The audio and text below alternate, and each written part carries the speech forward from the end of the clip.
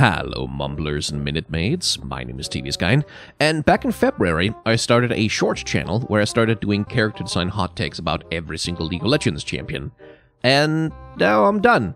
I've done a character design hot take about every single League of Legends champion, sometimes in multiple parts because even on a short channel I cannot keep things brief. Anyway, some people asked if I'd make a compilation video collecting all of them, so I did. And here it is, I guess. Good God, that was a lot of shorts. Aatrox has a really solid I have no mouth and I must scream style backstory about the terrible things being trapped in a sensory deprivation hell does to a mind. He's a soul driven mad with suffering by centuries of solitary confinement who rages against his surroundings, desperate to find some way to either end the world or end himself. But his design doesn't really express the horror of his existence. Instead, he looks like a somewhat painfully generic big red angry demon man that you might see in any generic fantasy setting. And I think going hard on body horror, showing his body as a flesh puppet attached to a possessed sword that is continuously drinking blood to remake its physical vessel, which is what he is, would have made him truly unique. Riot unfortunately stuck too close to the generic original when they remade him. He has a great concept, but he ends up falling a bit flat. My grade? C. Subscribe to this channel for more character design hot takes, or head on over to my main channel to get long form videos that discuss these subjects in detail. Ahri began her life as a stereotypical succubus slash seductress, draining the spirit from her victims, but over time evolved into a story of addiction. She's addicted to the draining, but hates the act of it, making her kind of a League of Legends tragic vampire character, which is pretty cool. Currently in her story, she's on a quest to find any remnants of her Vastayan tribe in order to understand her own nature and addiction. Her design uses the same cliched, boring, standard hot fantasy babe body that every other hot fantasy babe in every game uses, especially in League of Legends, which kinda sucks, but since Ahri is meant to be a seductress at least, it makes some sense as an expression of her character history. Her base design and outfit are broadly speaking fine, but the darker, more feral version they've created for the Ruined King game is, to me, much more appropriate to the current state of her story and who she is as a character. My grade? B. Subscribe to this channel for more character design hot takes, or head on over to my main channel to get long form videos that discuss these subjects in detail. Akali began her life as a fairly unremarkable ninja character, but received one of League of Legends' best reworks to date, which also moved her story forward. Frustrated with being held back by the traditionalism and caution of her master Shen, she leaves her stuffy old ninja order behind and becomes a rogue assassin, killing the enemies of Balance and of Ionia from the shadows. Akali is a rebel, and her design is crafted to contrast the highly traditionalist ninja style of Shen by incorporating sports and streetwear aesthetics, as well as tattoos for the extra edginess. She looks modern, but also confident and a bit brash, which fits her character really well, and lets her represent something of a middle ground between boring old Shen and literally the Shredder Zed. It's also nice to see a female warrior character present visible hardened muscle, which shouldn't be as rare in video games as it unfortunately is. My grade? S. Subscribe to this channel for more character design hot takes, or head on over to my main channel to get long form videos that discuss these subjects in detail. Alistar is one of League's oldest champions and has had several stories over the years, but they've all broadly stuck to the enslaved bestial monster man has his humanity restored by innocent kindness story trope. To wit, Alistar is a proud minotaur who was betrayed by his people and enslaved by Noxus until a kind-hearted servant in the arena where he was forced to fight helped him escape and find himself again. Currently, he operates as an anti-Noxus rabble-rouser while seeking to reclaim his lost honor. Design-wise, Alistar is a Minotaur, and besides being purple, he's about as stereotypical of a Minotaur as you're likely to get. Like most older League characters, he wasn't designed to defy archetype, but to embody it, and he certainly does that. It also means that his design is hard to criticize, except to say that he's derivative and something more interesting could be done with his basic ideas. The loincloth and shackles, for example, while they reflect his past as an enslaved gladiator, are weird things for him to keep wearing now that he's freed. What would a Minotaur wear if he could choose his own fashion? Now that could be an interesting way to design a character. My grade, C. Subscribe to this channel for more character design hot takes, or head on over to my main channel to get long form videos that discuss these subjects in detail. Ah, Amumu, will you ever find a friend?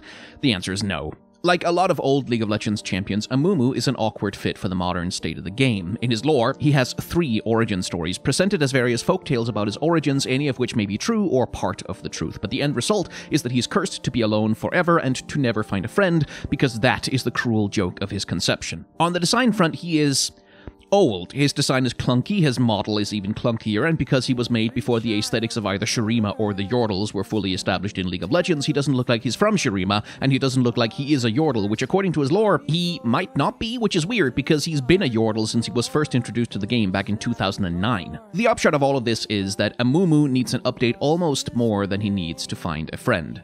My grade? D. Subscribe to this channel for more character design hot takes, or head on over to my main channel to get long form videos that discuss these subjects in detail. Don't call Anivia a god, because Riot has been weirdly specific that she isn't one, despite the lore of her and her brothers Ornn and Volibear being explicitly patterned after pagan pre-Christian gods, she's very specifically a demigod who counts among her powers and responsibilities the changing of the seasons and the cycle of death and rebirth. Like most old champions, she's designed to embody an archetype more than to be original or challenging, but she does have the amusing twist of being a phoenix who is reborn from ice rather than fire, which has led her transition smoothly from being an extra-dimensional summoned monster deity in her original lore to being an integrated ice god, oh, demigod in the Freljord today. Design-wise, Anivia is old and clunky, especially her animations show their age, and she's overall just a very basic design. She's a bird made of ice, and besides that, her only remarkable feature is a gem on her forehead. There's something to be said for simplicity, but in the modern League of Legends, Anivia looks downright basic. My grade, C. Subscribe to this channel for more character design hot takes, or head on over to my main channel to get long form videos that discuss these subjects in detail. Annie is a child who saw her stepsister die in a drowning, accidentally killed her father with fire magic, and then intentionally murdered her own stepmother in anger. In the lore, she's a semi-feral wilderness child who occasionally murders entire taverns full of people when she's not grifting them for food or clothes.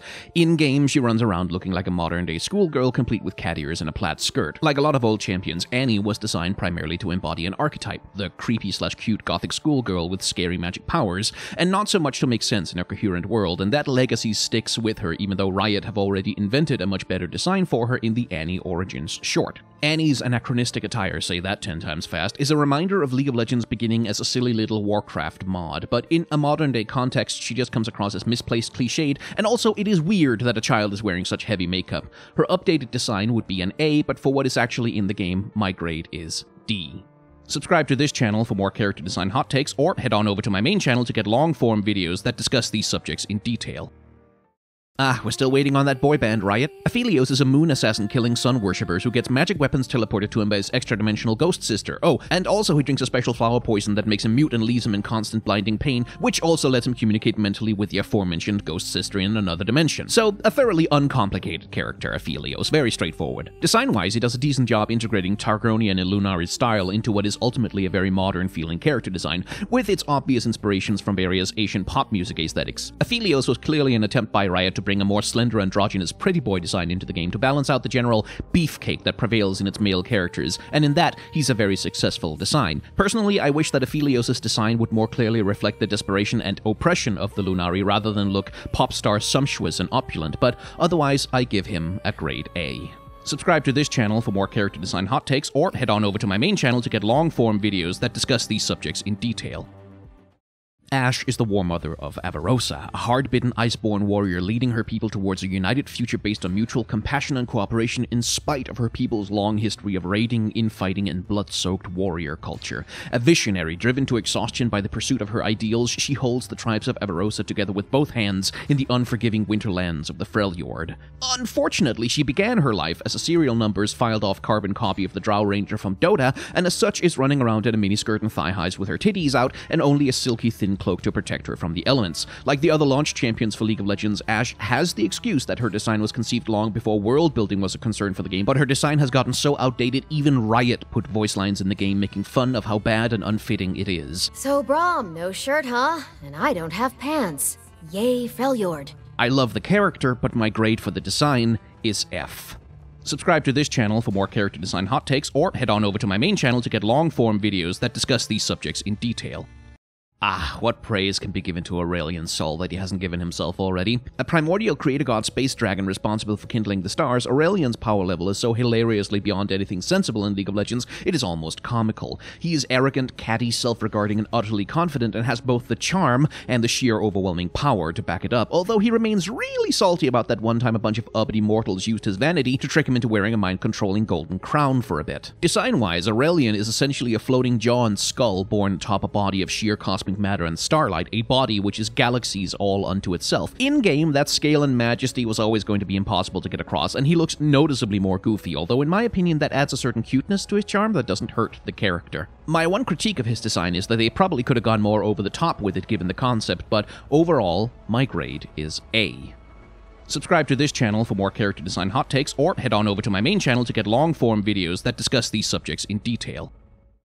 Azir is a failed emperor whose refusal to free the slaves of his empire led to his rather justified betrayal at the hands of his former best friend, which messed up his self-empowering ascension ritual and ruined his entire nation. There's a moral in here somewhere. Revived from his tomb in the sands to rebuild what was lost, he has taken on the sun god form of an ascended hawk and has set out to well, hopefully not use slaves again, because that was appalling of him. Design-wise, Azir is well, he's Horus. He's straight up a riff on Horus out of Egyptian mythology, down to the giant sun disk that acts as the ultimate monument to his power. He is every bit as derivative as Nasus and Renekton are of Anubis and Sobek, and while his originality suffers from that, his design communicates his character very well. Imperious, resplendent, regal, and commanding, Azir absolutely looks the part of a godlike emperor figure, with his armor and feather-like cloak doing a great job of emphasizing his bird aspect and making it look intimidating rather than goofy, which is harder than you'd think with birds. My grade is A. Subscribe to this channel for more character design hot takes, or head on over to my main channel to get long form videos that discuss these subjects in detail.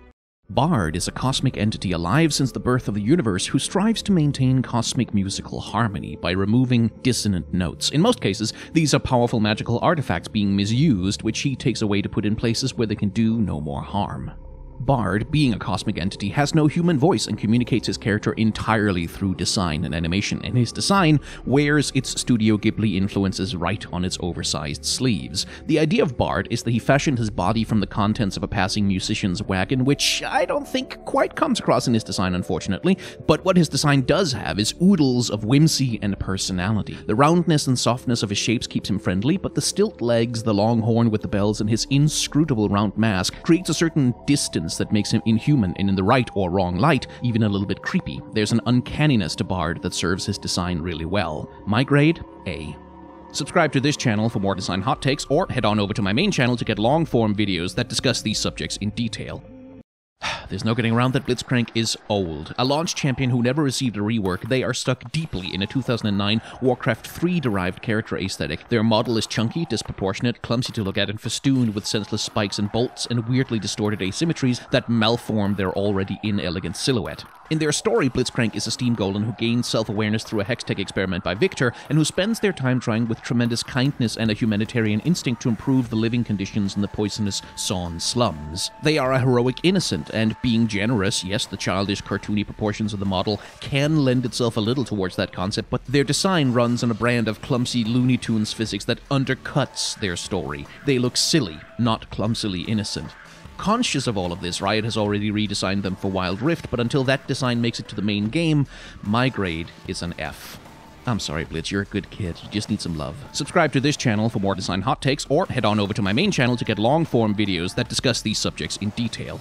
Brand has never had a particularly deep story. Originally, he was an evil fire demon who possessed a pirate in order to burn the world to ashes because he's an evil fire demon. In more recent times, he has been retconned into a more emotionally complex character, a former student of Ryze who got corrupted by a burning desire for power and claimed a world rune, which then turned him into an evil fire demon that wants to burn the world. Like a lot of old champions, he was originally designed to embody an archetype, not to challenge it, and consequently his design is boring. He's a charred human full of fire who throws lots of fire all around, and that's about about it. The only surprising part of him is that his pants somehow haven't burned yet. He's about as basic as basic gets, and while nothing about his design is downright bad, there's equally nothing interesting to recommend about it. My grade is a D. Subscribe to this channel for more design hot takes, or head on over to my main channel to get long form videos that discuss these subjects in detail.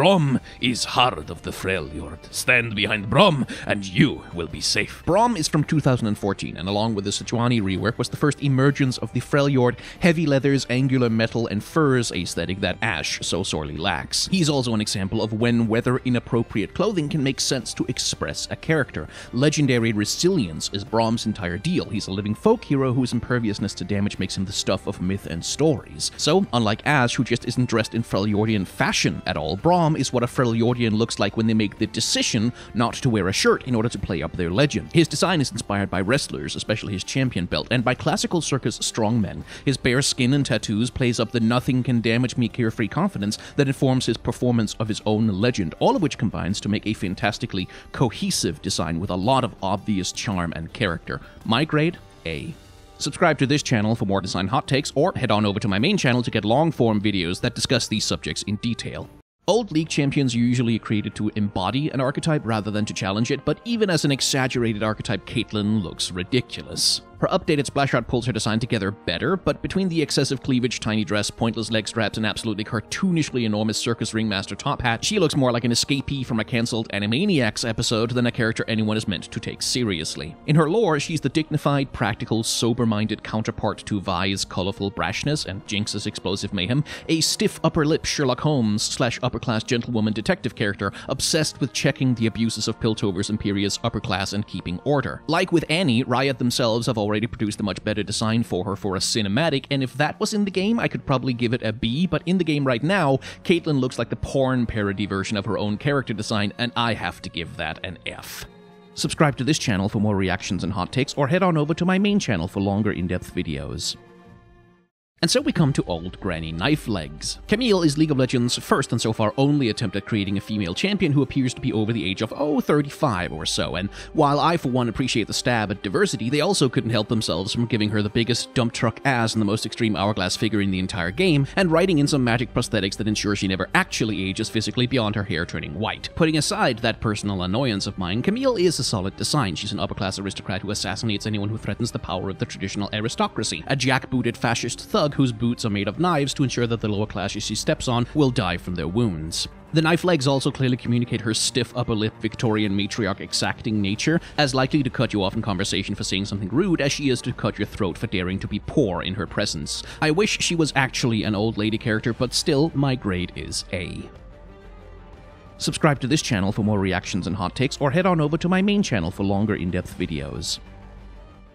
The myth of Medusa the Gorgon and the myths of the half-human, half-snake Naga are not at all the same thing, but have mixed together in pop culture over time to produce characters like Cassiopeia. Currently, her lore is in a bit of a chaotic state because on the one hand, she's the sister of Katarina, deeply tied into the politics of Noxus, and one of the instigators of Azir's revival and everything that's happening in Shurima right now, and Shurima, by the way, is the region that she looks like she's supposed to be from based on her aesthetics. But on the other hand, her storytelling focuses on her personal tragedy and the trauma of her transformation into a hideous monster, and has sort of cast her as this Batman-like Avenger in the night protecting the innocents from the abuses of men, which ties into the Medusa part of her character and would be pretty cool if they went further with it, but who knows if they actually will. As a character design, she's fine, but it's kind of hard to evaluate her because her lore is so all over the place. Is she supposed to be a Noxian Black Rose spy operative, a Shuriman monster woman, or a tragic parable about the dangers of hubris? Who knows? Hopefully Riot clarifies her someday, but my grade is B for now. Subscribe to this channel for more reactions and hot takes, or head on over to my main channel for longer in-depth videos. There's a 90s comic called Spawn, where one of the villains is an odious murder clown called the Violator. Yes, that really is his name, it's very much a 90s comic. When he transforms into a demon, he looks like this. Anyway, here's Cho'Gath. Like most Void champions, Cho'Gath's lore ultimately boils down to he wants to eat and or destroy the world because cosmic horror, and as such, he is a limited instrument as a character. He pretty much only functions as a villain, monster, or antagonist, which isn't necessarily a flaw, mind you, it's just a feature of his conception. Design wise, he is. Well, he's the violator from Spawn, and blatantly so, but being a very old champion, he also looks absolutely nothing like the modern conception of the Void monsters, which incorporate a much more varied and interesting shape language than what he displays. Few champions in the game need a rework as desperately as Cho'Gath does, and even if he wasn't a rip-off character, he would be an F for me. Subscribe to this channel for more reactions and hot takes, or head on over to my main channel for longer in-depth videos. Corki's biggest problem is that he is old. He launched in 2009 and has never received a proper model update, which really shows at this point. Lore-wise, Corki and the Yordles are in a semi-awkward spot, conceived both as rarely seen magically disguised cryptid elf gremlins who avoid human attention at all costs, but also somehow completely integrated into every society on Runeterra. Consequently, it's hard to know how much of Corki's current lore, where he's a flying ace in Piltover, is really canon. The idea of his design is a combination crackpot old inventor grandpa with his janky flying machine held together with spit and duct tape, and a World War I flying ace obsessed with reliving his past glories. And while it does make him a compelling comedic character, it is an ambitious design to try and pull off when you're working with what looks like a Nintendo 64 level of polygon count on the model. He badly needs a rework, but while he's a bit of a mess, he is at least a charming and unique mess, so I'll say my grade is C. Subscribe to this channel for more reactions and hot takes, or head on over to my main channel for longer in-depth videos. So, Darius is boring. In the lore, he's the Hand of Noxus, representing the nation's might as one third of the Trifarix Council alongside Swain, representing Vision, and definitely not LeBlanc, representing Guile. He worked his way up from a lonely orphan protecting his little brother, rose through the ranks of the military through his bravery and determination until he became a respected and tough minded leader who only accepts the best from his troops and. Riot has attempted multiple times to invest Darius with something resembling a personality and have only ever succeeded in making him more straight edge and boring. This makes him an absolutely perfect contrast to his brother Draven, of course, but leaves very little interest for the man himself. And this unfortunately carries over into his character design, which is also boring. Like, yes, he has the Noxian colors and the axe and the armor design look fairly cool, but if you dump him into a fantasy Warhammer army or a World of Warcraft expansion, he wouldn't be out of place either as a personality or a design. There's a million heart-bitten, honorable, brooding warrior dudes like Darius in fantasy, and while Darius does absolutely nothing surprising or different, he is a competently executed version of what he is, which gets a B from me. Subscribe to this channel for more reactions and hot takes, or head on over to my main channel for longer in-depth videos. Ah, Diana, my favorite tragic moon lesbian. Riot has never officially confirmed that Leona and Diana are star-crossed tragic lovers, but the people who actually created those champions have publicly been extremely clear that they were supposed to be, and it was management who shut it down. In the lore, she is the aspect of the moon and guardian of a persecuted religious sect on Mount Targon, which puts her terminally at odds with her sunny counterpart, and the fundamental tragedy of that betrayed relationship forms the core of Diana's personality and story. If Riot had ever actually done anything with it, I suspect it could have been quite compelling, but since they haven't, Diana's lore remains a bit empty of development. As a design, she has a strong contrast with Leona, how Khopesh makes for an iconic visual weapon. The emo makeup is on point and her forehead glowing moon tattoo is cool as hell. Outside of that though, she barely has a costume design and color-wise she's so drab as to be functionally monochrome. Aphelios has done a much better job of suggesting the silvery light of the moon with colors since then, and I hope that one day she gets an update that takes a cue from that. I adore her character, but as a design, unfortunately, my grade is C. Subscribe to this channel for more reactions and hot takes, or head on over to my main channel for longer in-depth videos. Here's a character who reminds us that League of Legends used to put out a champion every two weeks, regardless of whether they really should have. Dr. Mundo wandered fully formed out of the sketchbook of a disaffected 90s teenager trying to invent a villain for their terrible comic book, and in his time with League of Legends, the game has tried everything from making him a dangerous, violent sociopath genius to a straight up ripoff of Bizarro from Superman. The comedy angle is the only thing that's really stuck to him because well, just look at him. What can you do with that other than make fun of it? But his clunky ugliness has also made him one of League of Legends' number one meme characters, which I think does count for something. If I attempt to be objective about him, Dr. Mundo is a disastrous mess of deeply unacceptable quality, but he's one of those messes that has stuck around so long that you grow irrationally fond of it, even though you know it desperately needs to be tidied up. He definitely doesn't deserve it, but I'll give him a C. And yes, we'll come back around to him once his boring ass looking rework finally comes out.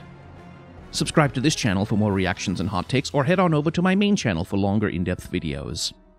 I talked in the Darius video about how Draven is the brother who got all the personality in their family, but perhaps Darius should count himself lucky because it turns out that personality is douchebag. Draven is the quintessential insecure man-child, a narcissistic show-off who lives entirely off attention and who will fall apart the moment he's not the center of attention in every room he walks into. You get the sense that a big part of the reason of why this is, is that Darius has overshadowed him his entire life, but since Draven has never really received any meaningful attention in the lore, that's about as far as his character can really be interpreted at this point. He is League of Legends' consummate wrestling heel, and between his stupid haircut obnoxious mustache, and eating grin, Riot absolutely nailed that part of his character design. You take one look at this man and you understand that he's a trash fire on legs, and you want to go to his arena fights just to cheer for whatever face is trying to take him down because his humiliation would be so satisfying. My one complaint with Draven is that for being such a flamboyant heel, his colors and costume are far too drab. If Riot gave him a more campy villain outfit, I think he could be A tier, but for the moment, for me, he's stuck in B. Subscribe to this channel for more reactions and hot takes, or head on over to my main channel for longer in-depth videos. Ekko has one of the best lore stories in League of Legends, where he uses his time reversing powers to relive a perfect moment of happiness with his parents over and over again because he's terrified to tell them that he's not going to move to Piltover to study at university, even though they saved up for his education his entire life. He's going to stay in Zaun and try to make his city a better place to live. So Ekko is a good kid who accidentally invented a way to shatter time itself, which he uses to infinitely repeat time loops, trying and failing things over and over again until he gets them perfectly right, sometimes at the cost of his own health. Design wise, he strikes a good balance balance between street punk and scrappy inventor, with his tall mohawk and hourglass face paint contrasted against painfully sensible overalls and welding goggles. His bat slash club looks crafted enough to feel like a personal weapon, but also primitive enough to belong to a street kid. While I do kinda wish he had a bit more scrappy punk energy or more crazy inventor energy, like just push him a little harder in either direction, Ekko is absolutely a great A design for me. Subscribe to this channel for more reactions and hot takes, or head on over to my main channel for longer in-depth videos. Say it with me, kids. League characters are often created to embody archetypes rather than to challenge them. And this is extremely true of Elise, who is literally every femme fatale slash Black Widow trope rolled into one. Her story is tropey as well. She's a beautiful high society Noxian socialite hungry for power and influence, who falls in with a secret Illuminati cabal who dispatch her to the haunted Shadow Isles to look for a powerful artifact. Instead of finding that, she gets bitten by an ancient spider god who transforms her into an ageless transforming Black Widow monster girl who uses her big mommy her charms to lure thirsty men and women to her spider goddess sacrifices. Design-wise, Elise is a sexy femme fatale MILF with all that that entails, and while it is absolutely tropey, cheesy, and overplayed, it is hard to argue that it isn't effective at what it does. Legends of Runeterra tried to tone her down a little bit, but I feel like if you're going to have a bondage-themed spider seductress thirst trap in your video game, it's more honest just to own it and go all out on the horny. I think there are ways to make a more interesting version of what Elise is, like bringing in more BDSM influence or leaning into queer aesthetics or sexuality, but my grade is still a B. Subscribe to this channel for more reactions and hot takes, or head on over to my main channel for longer in-depth videos.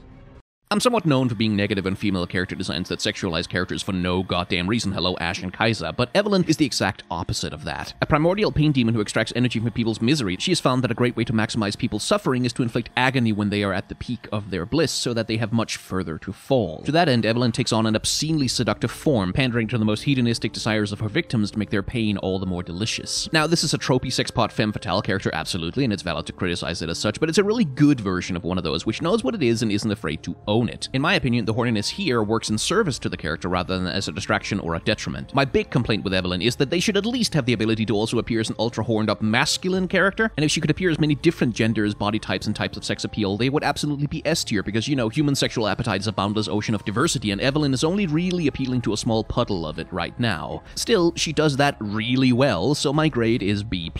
Subscribe to this channel for more reactions and hot takes, or head on over to my main channel for longer in-depth videos.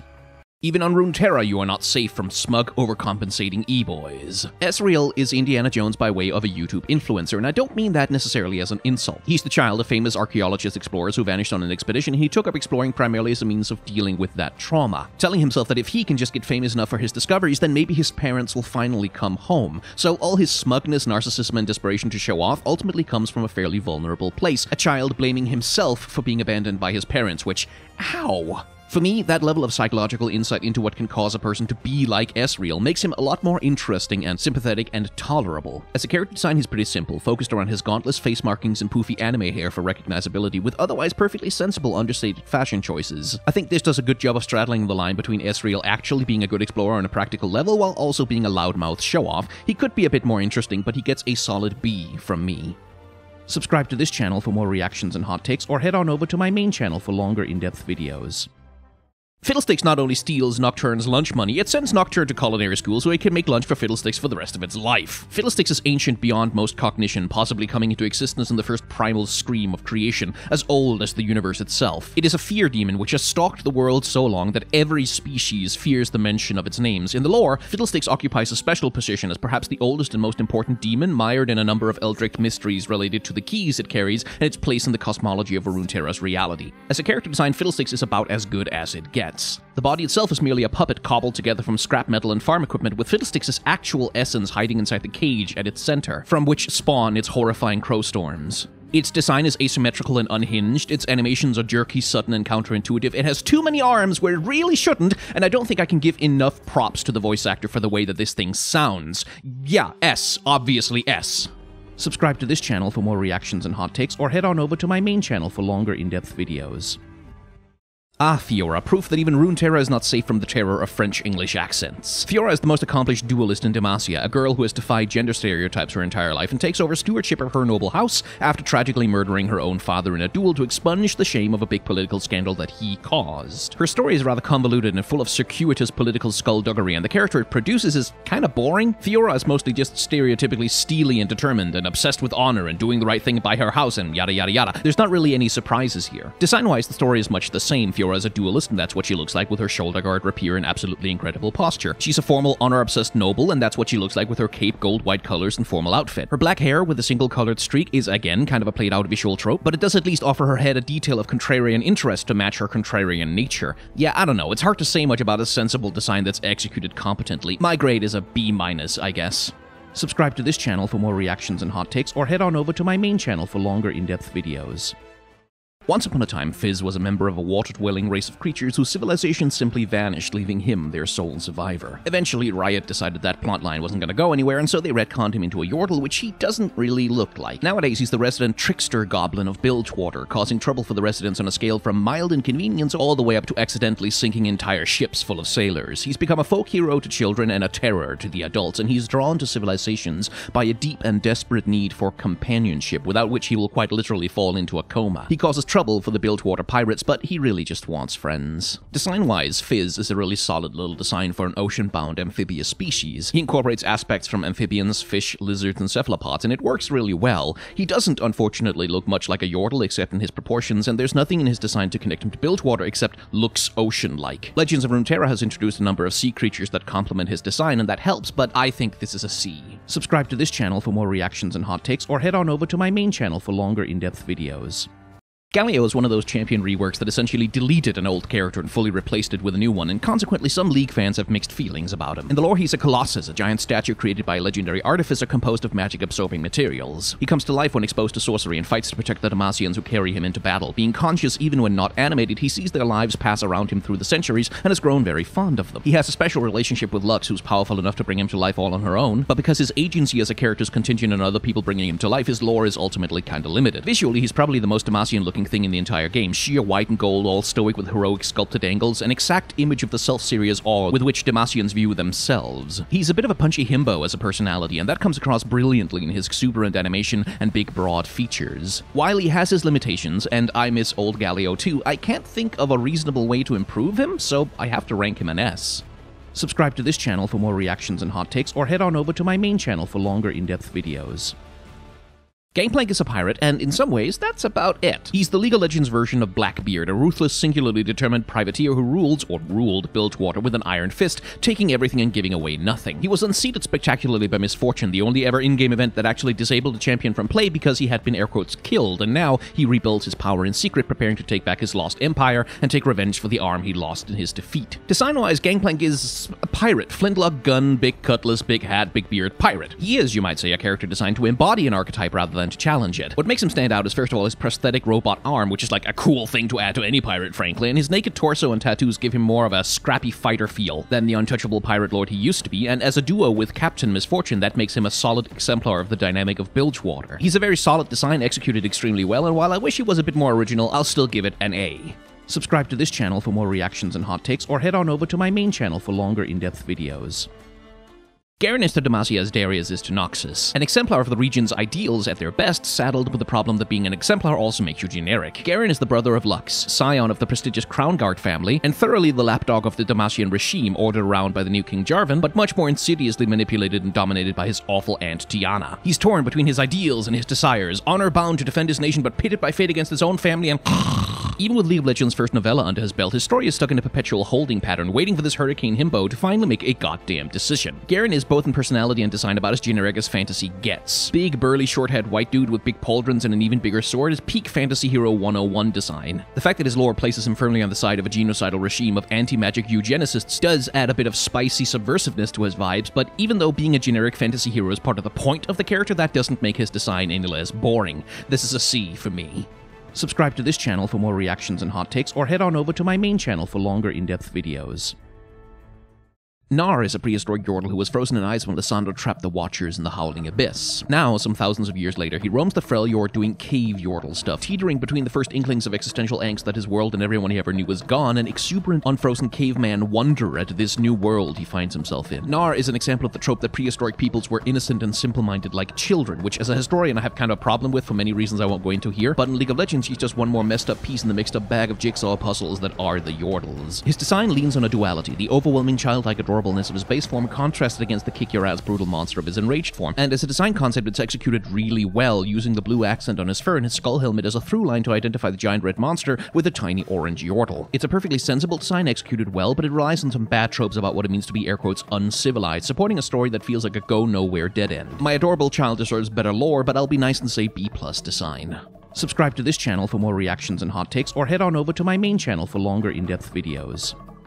Gragas is the character design equivalent of a fart joke. He's a misshapen lump in a loincloth on giant feet that body slams its fat belly around, sloppily sucking down beer and burping loudly every 10 seconds. More recently in the lore, Riot has tried to gentle him a bit. Nowadays, he's a brewmaster obsessed with making the perfect beer who is nominally aligned with the Avarosans, but who travels the Freljord looking for good brews and better ingredients. It's a good concept for a character. He has a half-decent story on the universe page, but there's a reason subjectively did a rework of this guy. His design is terrible. Putting aside the fact that he runs around glaciers in a loincloth, which, ugh, his design is simply ugly, and not just in terms of polish and polygon count. With its flattened head, fat lips, sloppy gut, and wild disproportionality, the design itself sees and presents Gragas only as a juvenile, haha, fat ugly man is gross joke. It doesn't present him as a brewmaster, it doesn't even present him as a person, just as an ugly thing to laugh at. And that's a F minus from me. Subscribe to this channel for more reactions and hot takes, or head on over to my main channel for longer in-depth videos. Graves is a cowboy with a shotgun who runs schemes with his pirate gambler boyfriend. That's a pretty solid start to any character biography. Like Leona and Diana, Graves and Twisted Fate had a heavy internal push at Riot to make them canonically bitter exes and then later reconciled boyfriends. Management has always said no, but I've decided to ignore them because they suck. After being instrumental in Gangplank's downfall, Graves is running schemes and scams and bounties in Bilgewater with Twisted Fate, and the two of them have been involved in a truly astounding amount of lore in the game's history. He's a gruff, rough and tumble classic outlaw character acting as the muscle in most situations, perpetually frustrated by the flighty magic fancies and convoluted plans of his partner. Design-wise, Graves is very much a Western movie archetype, the wandering outlaw looking for vengeance, and he fills that niche nicely with his poncho, chaps, mutton chops, and overcompensatingly enormous shotgun. This makes him a solid visual duo with Twisted Fate, albeit in some parts he feels like an awkward fit for Bilgewater with its 17th century pirate fashion and Pacific Islander aesthetics. Still, he's recognizable and perfectly functional, so I guess B minus? Subscribe to this channel for more reactions and hot takes, or head on over to my main channel for longer in-depth videos. Hecarim is one of the OG Shadow Isles champions, once upon a time acting as a dark messenger, terrifying the world with portents of doom. In recent times, though, things have got a bit more complicated. TLDR, Hecarim was a corrupt knight who served the Ruined King and was instrumental in bringing about the ruination that corrupted the Blessed Isles, and now he acts as a vanguard for the assaults that the Black Mist mounts on the rest of the world, riding out to destroy the living. He is also responsible for murdering Kalista.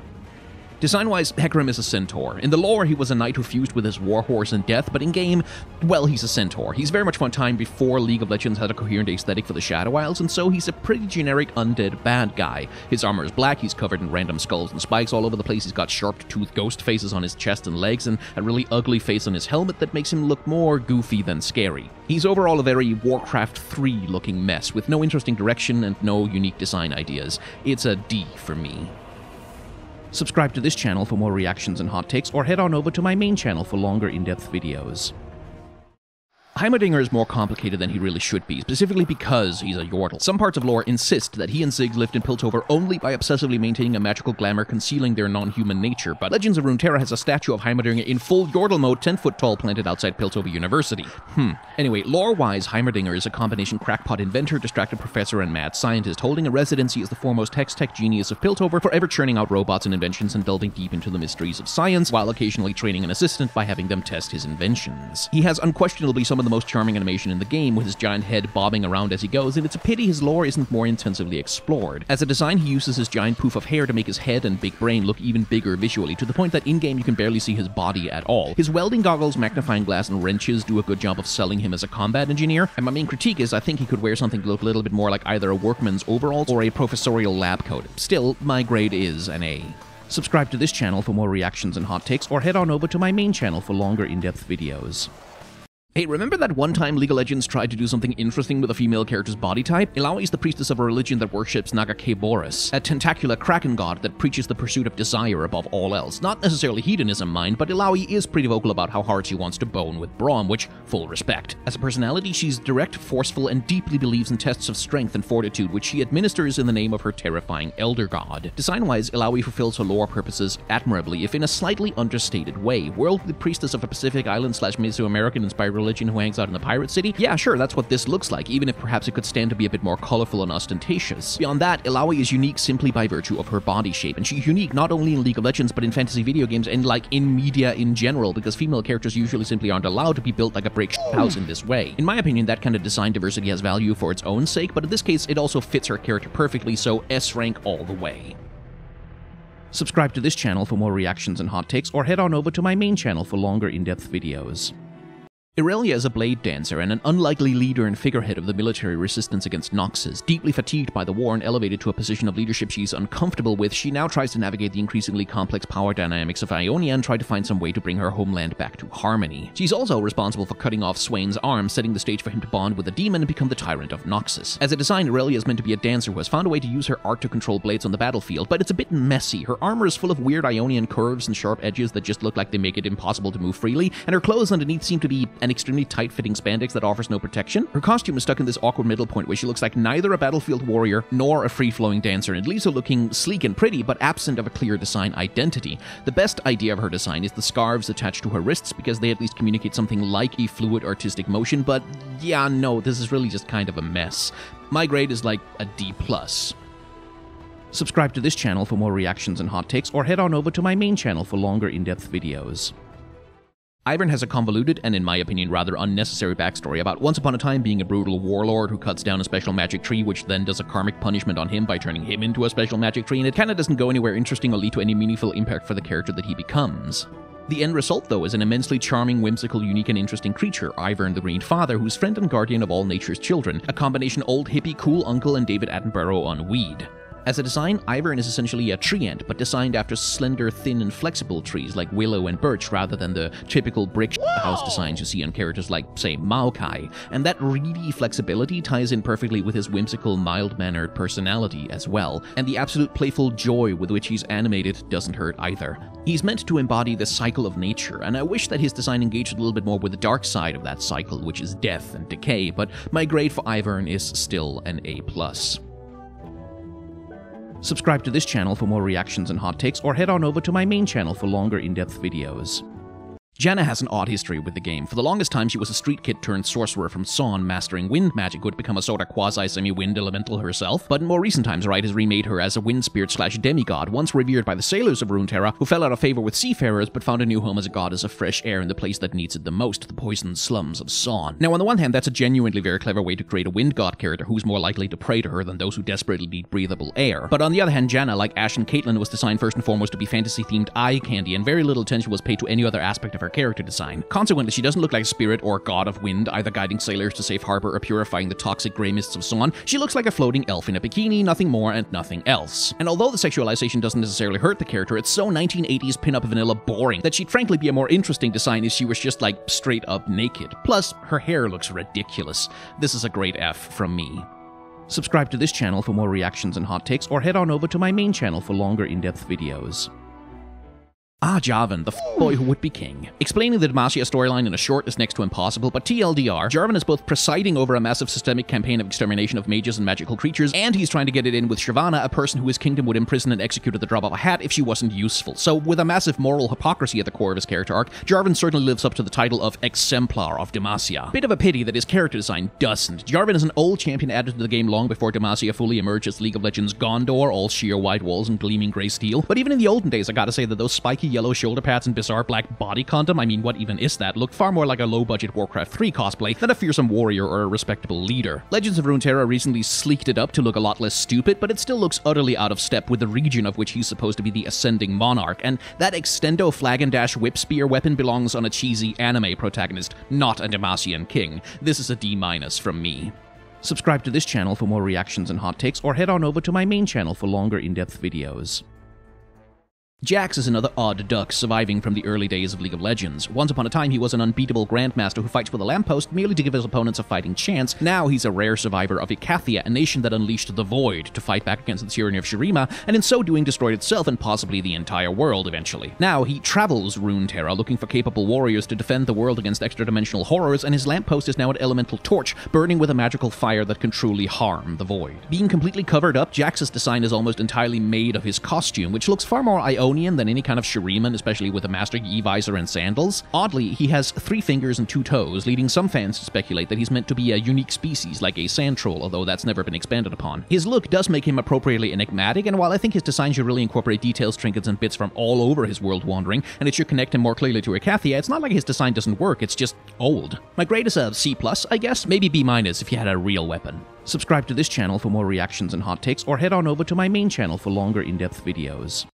Jace is a champion a lot like Demacia. Once upon a time, a fairly uncomplicated good guy squaring off against obvious evil, various lore retcons have since turned him into a bit of an ethically compromised asshole swimming in a sea of grey morality. Jace is League of Legends' Tony Stark, a natural genius driven to arrogance and a superiority complex by his gifts and privileges. He becomes a classic insufferable genius who finds a lone friend and the only man with an intellectual ego big enough to match him, Viktor. They're both obsessed with improving on the faults of humanity, but come to blows when Viktor wants to turn everybody into transhuman cyborgs, free will optional, and Jace thinks maybe that's going a little bit too far, actually. A big epic science fight ensues, resulting in Jace building a Hextech hammer to become a superhero and marginally less of a jerk. As a design, Jace is Elon Musk's persona, basically. A handsome, charming, sexy tech hero with some cool armor and a cool weapon, all fairly well composed and visually interesting to look at. For all that I poke fun at him, I also can't really find any fault with Jace, except that maybe he feels a little bit basic at times.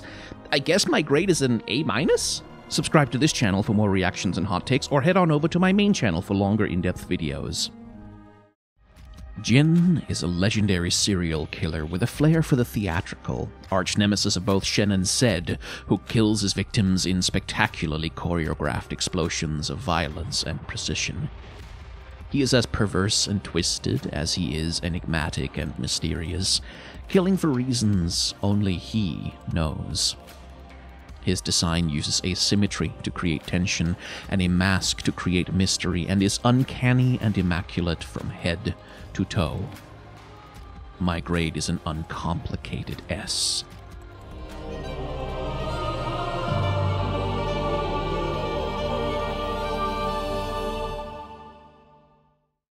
Jinx is an unhinged, chaos obsessed explosion fanatic, spreading mayhem for no reason except the sheer fun and joy of doing it.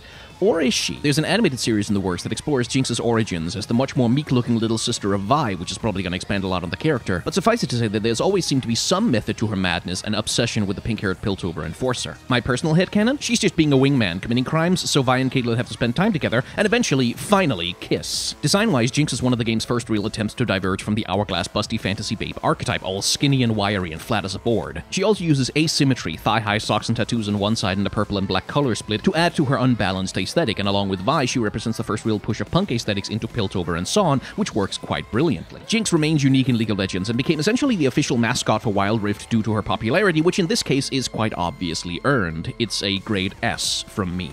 Subscribe to this channel for more reactions and hot takes, or head on over to my main channel for longer in-depth videos.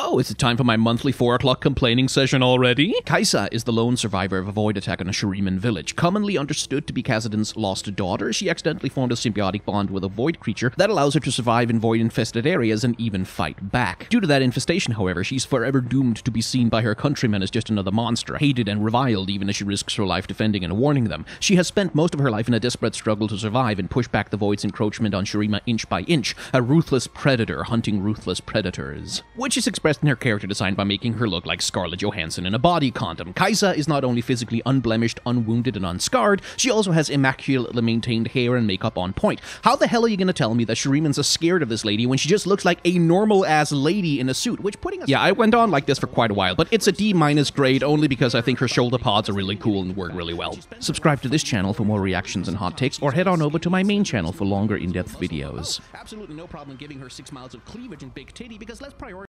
Kalista is a general of Camavor, the kingdom of the ruined king. She journeyed to the Blessed Isles that the king's wife may be healed in its waters, and when Viego orders her to conquer and murder on the isles to secure the cure, she refuses, which leads quite immediately to her betrayal and murder by Hecarim. She dies swearing revenge and returns to consciousness as a wraith of vengeance, single-mindedly consumed with the punishment of traitors. Now, if a mortal desires revenge, Kalista can be called upon with a ritual to deliver it at the price of becoming one with her, a part of the Spear of Vengeance. Design-wise, Kalista is one of the few League women not designed with beauty or attractiveness as a primary design goal, which instantly makes her unique in the game. She's gaunt, emaciated, and wired with taut muscle and bony hands. She looks the part of the obsessive Wraith quite brilliantly, and really the only thing I'd want to see is have her stab wounds in her back, the symbols of her betrayal, be actual lethal physical wounds rather than just ethereal ghost spears. Still, this is an A plus for me. Subscribe to this channel for more reactions and hot takes, or head on over to my main channel for longer in-depth videos. Karma is League of Legends Dalai Lama, although for obvious reasons Riot will never call her that. Embodying the spiritual traditions of Ionia, Karma's story, like everyone else in Ionia's, is about dealing with the traumatic fallout of the Noxian invasion that shattered the country and its traditions. The traditions of Ionia demand pacifism, but Noxian imperialism and their chemical weapons of mass destruction demand a military response. Karma eventually relents to this need and destroys an entire Noxian armada with her formidable powers. Interestingly, while originally she was deeply traumatized by this and retreated back into conservative pacifism to restore spiritual balance, a more recent update retconned her so that she is in fact acting in accordance with the Ionian spirit, which is pushing her to action even if it means breaking with tradition. Design-wise, Karma is every other hot League of Legends lady, a completely generic fantasy babe character, albeit with cool-looking costume. The double Jade dragons orbiting in her floating wings are a cool motif, and there's lots of interesting asymmetry in her costume, albeit it has maybe slightly a too modern stylistic sense rather than traditional. Seriously though, put her outfit and haircut on Nidalee and nobody would be able to tell the difference. I have to say C minus. Subscribe to this channel for more reactions and hot takes, or head on over to my main channel for longer in-depth videos.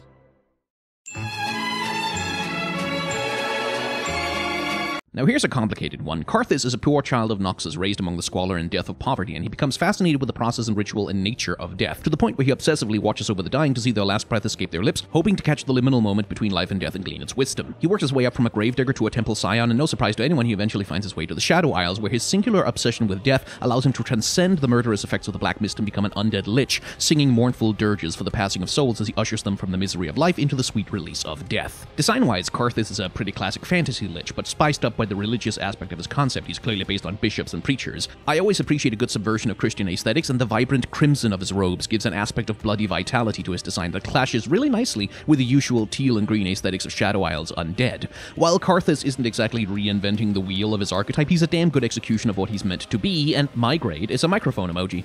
Subscribe to this channel for more reactions and hot takes, or head on over to my main channel for longer in-depth videos.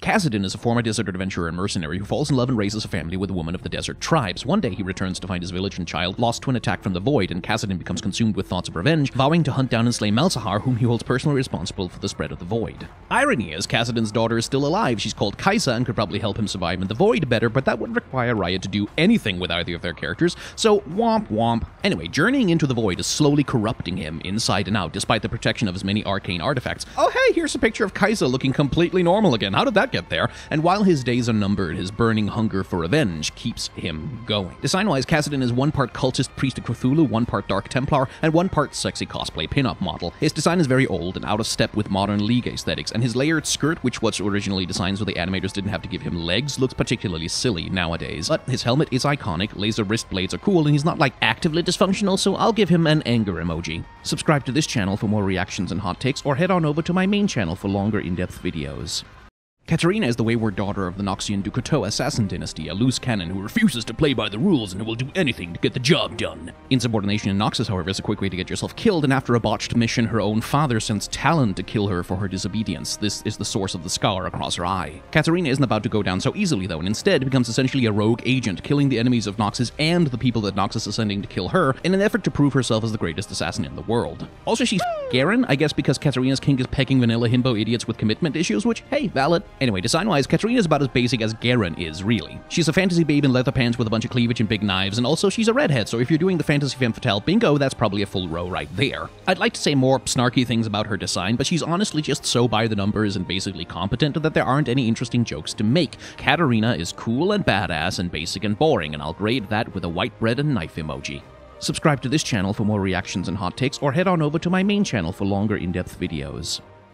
I have a full What's the Deal video on Kayle's design on the main channel, but TLDR. Kayle is the child of a celestial Targonian aspect of justice, obsessed with punishing evildoers and upholding laws and order no matter how repressive and harmful it may be. In pursuit of this, she has spent centuries attempting to purify herself of human weaknesses and fully ascend as an aspect. Unfortunately, half of that power belongs to her opposite twin Morgana, who thinks that you shouldn't execute people for jaywalking actually no matter what the law says. No surprise that Kayle is very much the patron angel of the government of Demacia, with some vague hints in the story that she and Morgana might come out of hiding to intervene in the Mage Rebellion, which could be interesting. Design-wise, Kayle is a pretty basic avenging angel with a chest plate that will literally stab her in the sternum if she tries to bend over, and exactly the same fantasy bait body type as like 40 other female League of Legends champions. She has a cool idea in that she changes her character design as she levels up and becomes ever more the dispassionate avenging angel, except Riot made her take her helmet off and look more human as she goes instead of using her armor to dehumanize her, which I find kind of baffling. Anyway, the end result is the Kayle is boring and was cooler pre-rework, which gets a white cop lady emoji from me. Subscribe to this channel for more reactions and hot takes, or head on over to my main channel for longer in-depth videos.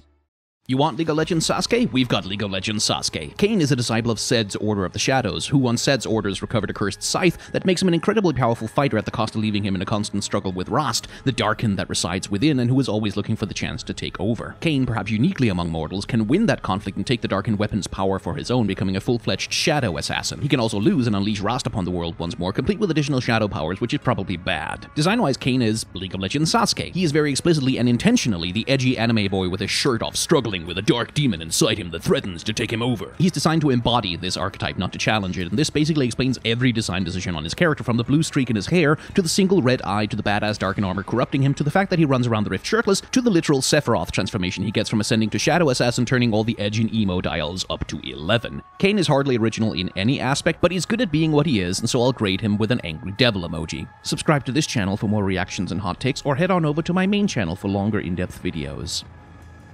Rhaast is a Darkin, which means that once upon a time he was one of the Ascended of Shurima, ruling over the war hosts of that conquering empire, whose immortal life and unfathomable trauma battling the void exposed him to infinite opportunities for corruption. With the fall of Shurima and the vanishing of Azir, the Ascended descended into sectarian violence and civil war, and a combination of abuse of blood magic and centuries upon centuries of warfare and bloodshed transformed them into demonic corruptions of their original selves. The former aspect of Twilight, the one before Zoe, eventually tells mortals how to seal the immortal Darkin away in the very weapons they use, and this is the fate of Rhaast, his sealing leading to eventual rediscovery by Kayn and a chance to escape his maddening imprisonment and bathe in blood once again. Design-wise, Rhaast, like Aatrox, is an incredibly basic demon, all metallic spikes, angry red flesh, and sharp edges. The Ionian pants he inherits from Kayn do give him a bit more of an Oni-like aspect, which is cool, but like Aatrox before him, Rhaast does very little to step outside of his archetype. For my money though, he is a cooler demon design than Aatrox overall, so my grade is a smiling devil emoji. Subscribe to this channel for more reactions and hot takes, or head on over to my main channel for longer in-depth videos.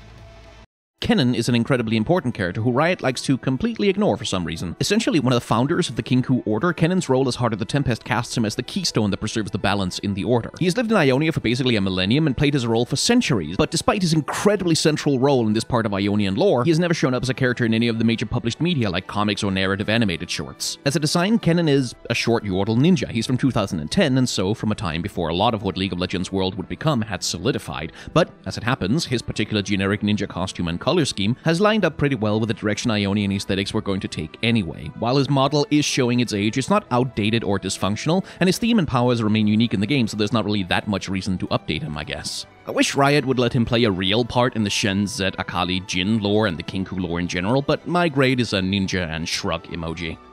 Subscribe to this channel for more reactions and hot takes, or head on over to my main channel for longer in-depth videos.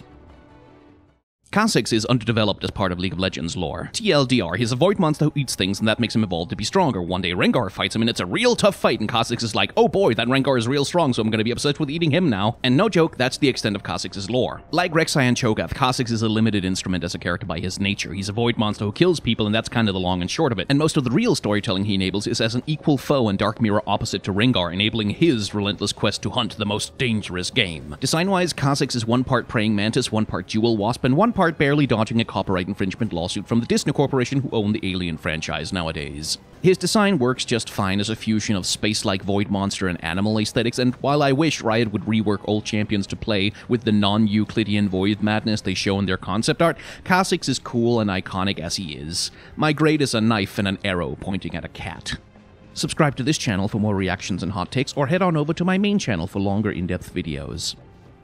The kindred is the collective noun for Lamb and Wolf, twin embodiments of death who ushered the expired out of the realm of life. Lamb, the gentle hunter offering a swift and merciful end to those who accept death, and Wolf, the brutal devourer, chasing down and inevitably consuming those who fight and run from their final end. As we've learned in Legends of Runeterra, Lamb and Wolf are only one among many embodiments of death, and they exist in part because living creatures believe they exist. Lamb and Wolf themselves have a sibling-like relationship with the gentle Lamb often calming the impatient Wolf and telling him stories to distract him from his hunger, with one story implying that Lamb and Wolf were once one entity but split into two so that they would always have a friend. As a design, the Lamb and Wolf are a simple concept. Lambs and wolves are popular embodiments of innocence and cynicism, gentleness and brutality. They have a yin-yang theme going on. Lamb is small and physical, Wolf is huge and ghostly, Lamb is ranged, Wolf is melee, Lamb is white, Wolf is black, and each wears the mask of the other to symbolize their interconnectedness. They are simple and iconic and both endearing and deeply disturbing. My grade is Rear forward, Brigadier Admiral Kled is a Yordle who makes his home in the Noxian hinterlands. He's hung around the Noxian tribe since before the founding of the Empire, and like a lot of Yordles, he has absorbed the general spirit of his region, which in this case has turned him into a screaming, brawling hillbilly who wants everyone and everything to get off his property. Nice burn on imperialism there. Lord Colonel Major Centurion Kled is joined by his Dracolops, Skaarl, who is as immortal and indestructible as he is stupid and cowardly, making him probably the perfect foil for the violent lunatic he carries into battle. As a design, Lieutenant Sergeant Commodore Kled is mostly quite understated, wearing a fairly sensible dark combat uniform and hat, balanced out by his enormous bushy white face, huge mouth, scars, and glowing eye. That face makes him tremendously expressive and highly appealing. Skaarl is much more colorful, and with his huge floppy crest ears and prehensile tongue, he balances out Sir Admiral Major Kled's Yosemite Sam sharp-toothed level of violence with dumb lizard cuteness. The two of them make a perfect Looney Tunes comedy duo, at once opposites and complementary, and it is impossible not to be cheered up at least a little bit by their antics.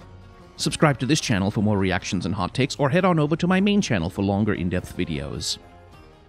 Kog'Maw is the most adorable little void puppy and also he eats people. When Malzahar was driven mad by a summoning voice from the void, that summoning beacon anchored itself in his mind and kept calling. Kog'Maw is one creature that feels that call and he now ambles his way across Runeterra, always heading for Malzahar while consuming anything and everything in his way. What happens when Kog'Maw finds Malzahar, we don't know, but to be honest, I also doubt that Riot is ever going to show us. As a design, Kog'Maw reflects his time, that time being 2010. The aesthetics of the Void were not at all settled then, so Kog'Maw looks like a halfway mix between a caterpillar and a zergling. He's a stubby little insectoid mouth on legs with head tentacles and rather random spikes everywhere, and none of the purple tones usually associated with void creatures. On the upside, he is rather adorable and one of the very few void entities whose behavior is coded less malicious and more naive and innocent and only massively destructive on accident. He badly needs a rework in my opinion, but he's also one of those champions who people would create protest petitions on change.org if Riot changed his design too much, so his upcoming texture update is probably about the best we can hope for. Subscribe to this channel for more reactions and hot takes, or head on over to my main channel for longer in-depth videos. LeBlanc looks completely ridiculous, but once upon a time that was probably the point. In the lore, she's the enigmatic cult leader of the Black Rose, basically the Noxus Illuminati, forever working towards nebulously nefarious ends and seeking to hold the reins of power in Noxus. In truth, she's an ancient sorceress who assisted in the defeat of the warlord Mordekaiser and who now holds a vigil over his remains at Noxus to forestall his probably inevitable return. And since Mordekaiser is an existential threat to every living thing on Runeterra, to LeBlanc all measures are justified to oppose him. Murder, slavery, and child abuse are just a few of the ones we know of. As a design, LeBlanc is, as I said, ridiculous, wearing some kind of ostentatious spider wet bathing suit under a cloak and decked out in a gold, black, and bright pink color scheme that hurts the eyes to even think about. But that was once the point. She's an illusionist, and so she dresses like a stage magician, and she operated openly in the League of Legends in the old days as a fighter. In the modern lore, she stays in the shadows, and so her Legends of Runeterra design scales her back to more of a fantasy mafia matriarch vibe, which works a lot better, I think. But in League of Legends proper, we get to enjoy one of the truly worst outfits in the entire game for at least a little while longer. Subscribe to this channel for more reactions and hot takes, or head on over to my main channel for longer in-depth videos.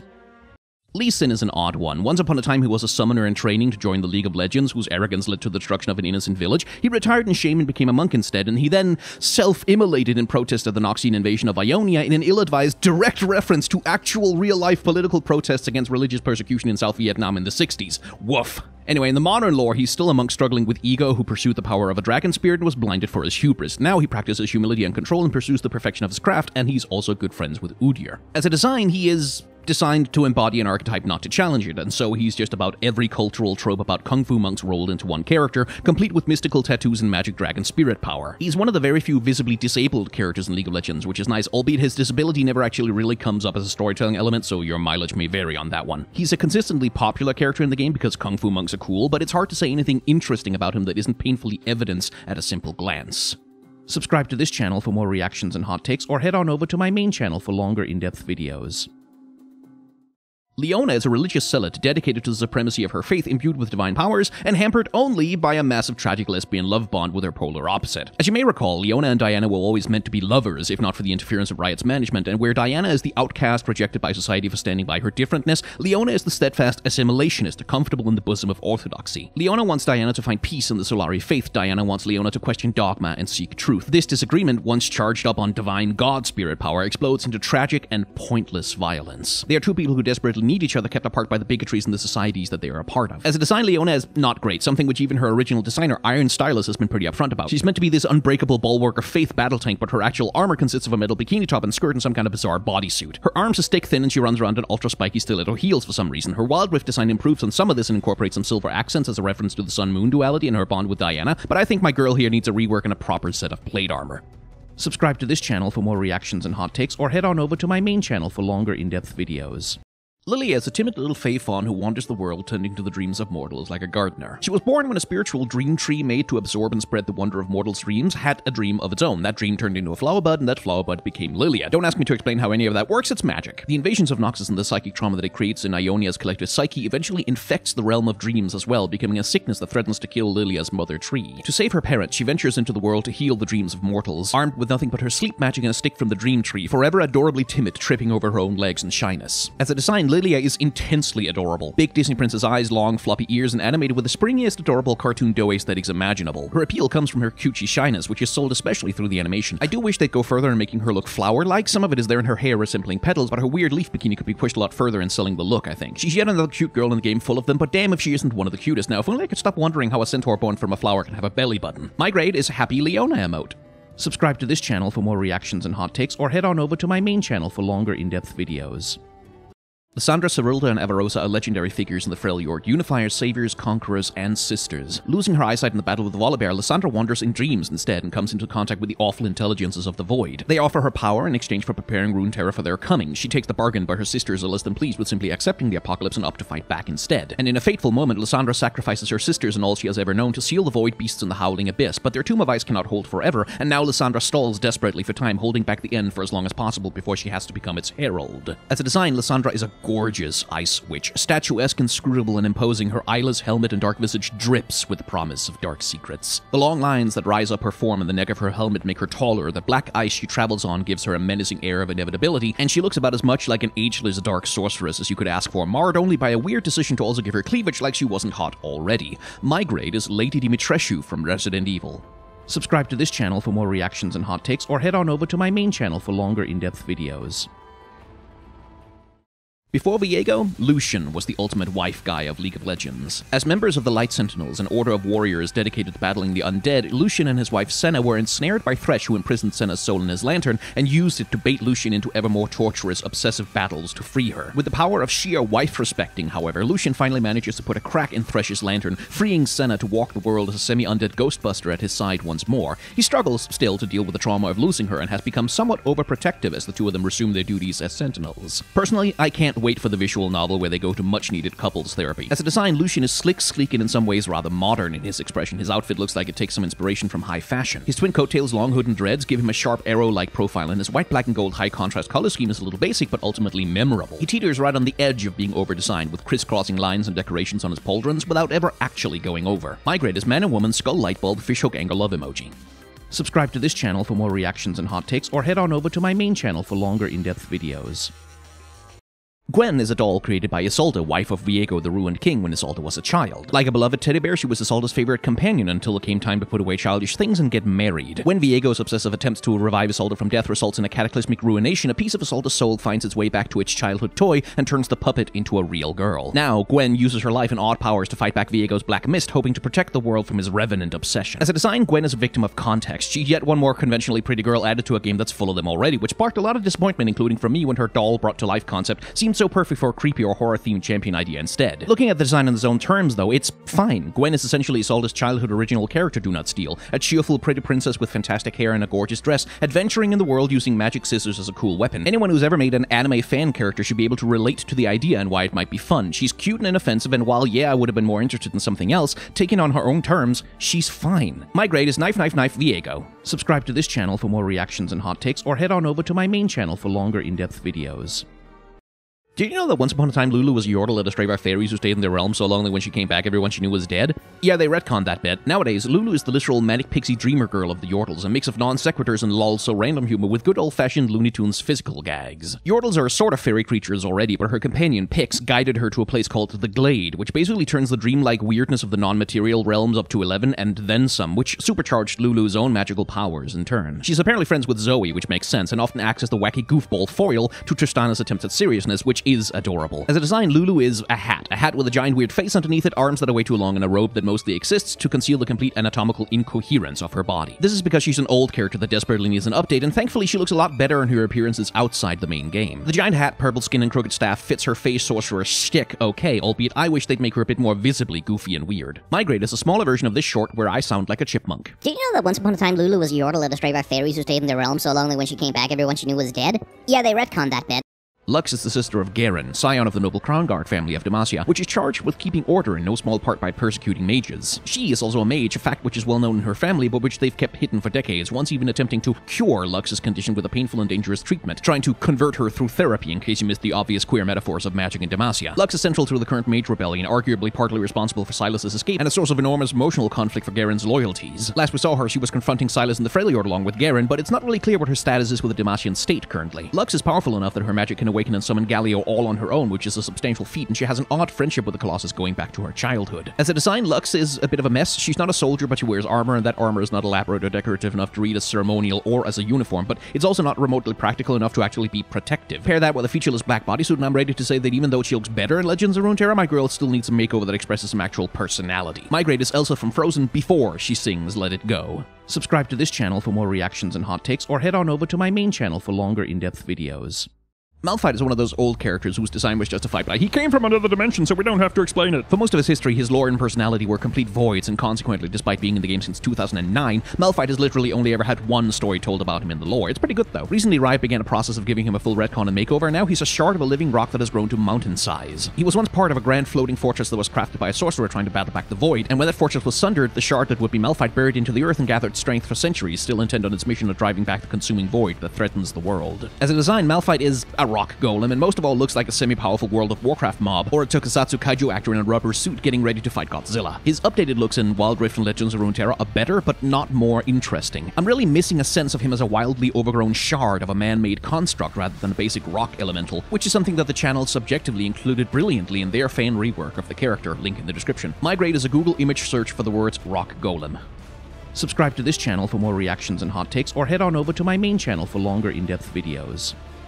Malzahar is the only idiot on Runeterra, both nihilistic and dumb enough to be a willing prophet for the Void, having decided that the only solution to bad things happening is to make all things stop happening forever, and if billions have to die to make it so, then so be it. To be fair, he's had kind of a miserable life. Born with powers of divination, he lost his parents early on and lived in the gutter for most of his life, eventually carving out a wealthy business telling fortunes, but never actually dealing with his trauma. Realizing that money can't buy happiness, he starts wandering the desert instead, eventually making his way to Icathia, where pulsing void portals emit a haunting call that his messed up mind is amenable to. He sees in the void an end to all suffering, confuses that for wisdom, and becomes imbued with void powers, which he uses to start a doomsday cult and actively hastens the spread of the void across Shurima. What a dumbass. As a design, Malzahar is a bit of a non-entity. He draws some inspiration from classic Djinn imagery, but it doesn't do much for him since he isn't that. He's mostly just covered up in fabrics, wearing weird gauntlets, and carries around a dagger, which he doesn't use for anything. The one really cool detail about him is the hole in his hood and his head, revealing a bunch of spiraling void nonsense where his brain should be. And I'll admit that is pretty good storytelling about the character. My grade is Thanos doing a handshake with a doomer. Subscribe to this channel for more reactions and hot takes, or head on over to my main channel for longer in-depth videos.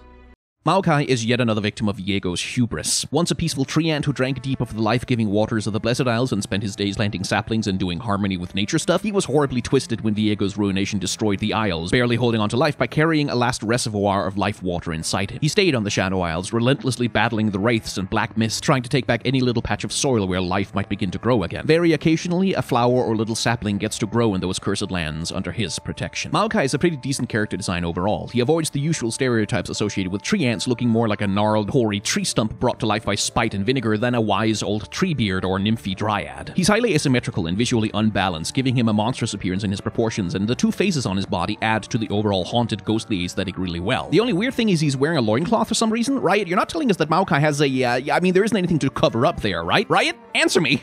My grade is tree and flower thumbs up emoji and an incomprehensible black metal band logo. Subscribe to this channel for more reactions and hot takes, or head on over to my main channel for longer in-depth videos.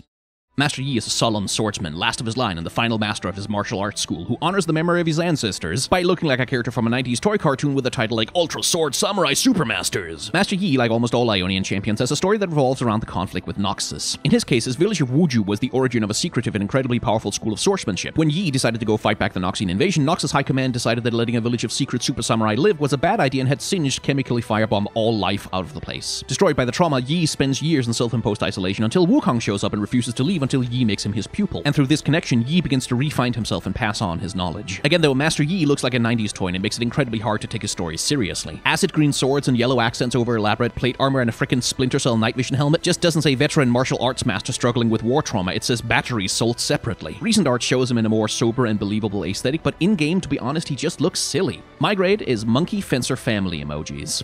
Subscribe to this channel for more reactions and hot takes, or head on over to my main channel for longer in depth videos. Miss Fortune's gonna need two videos because there's two misfortunes in League of Legends. The first is the lady that you see here, Sarah Fortune, busty redhead pirate bounty hunter hottie extraordinaire. This version of Miss Fortune is a horny pirate maiden sex fantasy on legs, and she was written as such. Miss Fortune spills into the great hallway with the same tenacity that she spills into her silk blouse, both taxed to contain her. She bounds across the tiles, the impact of every footfall ripples up the curves of her figure, the distraction of her beauty magnified in motion. This is how she used to be described in canon lore. And her character design, well, fits that. She's a skinny and slender yet enormously stacked redhead with perfect makeup, a cutesy oversized pirate hat from a Halloween costume, enormous cartoon handguns, and pants ripped open along the sides so we get some thigh action as well. And if she was unique in being a horny sexpot character, that might be okay, the game could have room for that, but when every third woman in the game is a hot lady with a tragic backstory, something as cartoonishly overwrought as this version of Miss Fortune feels less like sexy fun and more like cringy self-parody. My grade is this 1940s Tex Avery cartoon clip. Subscribe to this channel for more reactions and hot takes, or head on over to my main channel for longer in-depth videos. There are two misfortunes in League of Legends. See part 1 for the first one, this is a video about the second one. This is Sarah Fortune. As a child, she saw a young Gangplank murder her parents and nearly kill her, and she swore a terrible revenge. She took up bounty hunting and built up a network of loyal contacts, which finally helped her overthrow Gangplank, publicly executing him by blowing his ship to Kingdom Come. He survived, obviously. Now, she struggles with the power politics of Bilgewater, trying to keep it from falling into civil war after the death of its pirate king, and every day she fears she feels herself become more like the brutal pirate lord she overthrew. Captain Fortune is who Miss Fortune is actually in the lore, and she's the character who appears in the upcoming Ruined King game. She has maybe more lore than any other character in League of Legends, and much of it is actually really good. Her design keeps her sexy and a redhead, high heels and corsets and pirates aesthetics, but has matured away from staring at her breasts all the time, and frames her instead as a cool feminine action hero, which doesn't make her super unique, but it's well executed and fun. Her League character model is still clearly meant to be a sexy blow-up doll no matter how you skin it, but outside of that, my grade is Lara Croft John Wick lipstick kiss. Subscribe to this channel for more reactions and hot takes, or head on over to my main channel for longer in-depth videos. Hey, can I copy your homework? Okay, just make sure to change it a little. Mordekaiser is almost refreshing in his simplicity. He's an evil warlord who wants to murder everybody because he is an evil warlord. In life, he conquered worlds, and when he died, he found the afterlife empty of the eternal glory he thought he had earned by, you know, doing all that murder all the time. Being a petty little piss boy about it, he gets himself necromantically revived as a suit of armor to conquer the world once more, and he uses the souls of those he kills to forge a realm of death for himself. He is temporarily banished, partly due to his betrayal by LeBlanc, but he has a way back to Runeterra which lies at the heart of Noxus, and time is ticking on when he's gonna use it. Mordekaiser is League of Legends Sauron. He's the Lich King, he's the Overlord, he is the obligatory ominous fantasy armor tyrant final boss bad guy. He is, in other words, created to embody an archetype and not to challenge it, and in that he does perhaps too good of a job. He's exactly what it says on the tin, and while there's no interesting innovation here, sometimes you can make the argument that a classic is a classic because it works. My grade is a pile of metal and a pile of metal. Subscribe to this channel for more reactions and hot takes, or head on over to my main channel for longer in-depth videos. Morgana is the twin sister of Kayle and the dark one of their twins but opposite yin yang dynamic. The twist of these twins is that Kayle is an unfeeling tyrannical despot who will rain murderous justice on anyone who questions her, while dark Morgana embodies the idea of compassionate justice, where you know reform, restitution, and nuance is possible, and fatalistic punishment isn't the only option. They are both of them children of the Targonian aspect of justice and a human man, and where Kayle is obsessively pursuing her divine heritage, Morgana rejects it and binds her wings to come closer to humanity. She lives hiding in the shadows in Demacia and offers help and support to those who need it, although we've never actually seen any of that come to fruition in the actual lore. As a design, Morgana is big titty goth girlfriend, and while her more hedonistic, sumptuous evening gown does offer some contrast with Kayle's armored angel vibe, for both sisters, the contrast and opposite differences between them could have been pushed so much harder and been so much more interesting. There's a great dynamic here, and all the right ideas are present, but they trip over Riot's bizarre commitment to remaking the same three fantasy babes over and over again in different costumes regardless of the context. My grade is a half-decent reheated microwave lasagna. Subscribe to this channel for more reactions and hot takes, or head on over to my main channel for longer in-depth videos. Don't ask me why a fish person has memories. I don't know. Just roll with it. Nami is one of the Marai, tribe of seaborn Vastaya. That's animal-human hybrid people in Runeterra. Furries, basically. Who has taken up the staff and duty of the Tide Caller to complete an important ritual to safeguard her people's future. Nami needs a moonstone, a magic rock that protects her people from void-spawned monsters in the deep sea, and only the aspect of the moon, that's Diana, can create such a thing. Unfortunately, Diana is a bit busy with the whole Solari Lunaris civil war and isn't around to make it, so Nami has decided to go find her wherever she may hide. Nami is the only merperson champion in League of Legends, and is very much your classic created to embody an archetype not to challenge it situation. She's a gorgeous mermaid person with a long tail, sparkly scales, and prominent uh, fins. Besides the dark hip armor and the helmet she wears, there's really very little else to her in terms of culture and fashion, and her staff in all its bright saturated colors seems to be another aesthetic entirely than the rest of her gear. It all adds up to a pretty vague design overall, with almost no sense of the culture that she's supposed to represent as the Tidecaller. Not a bad design, mind, just vague. My grade is a fish, a cookie cutter, and a direct-to-video Little Mermaid sequel. Subscribe to this channel for more reactions and hot takes, or head on over to my main channel for longer in-depth videos.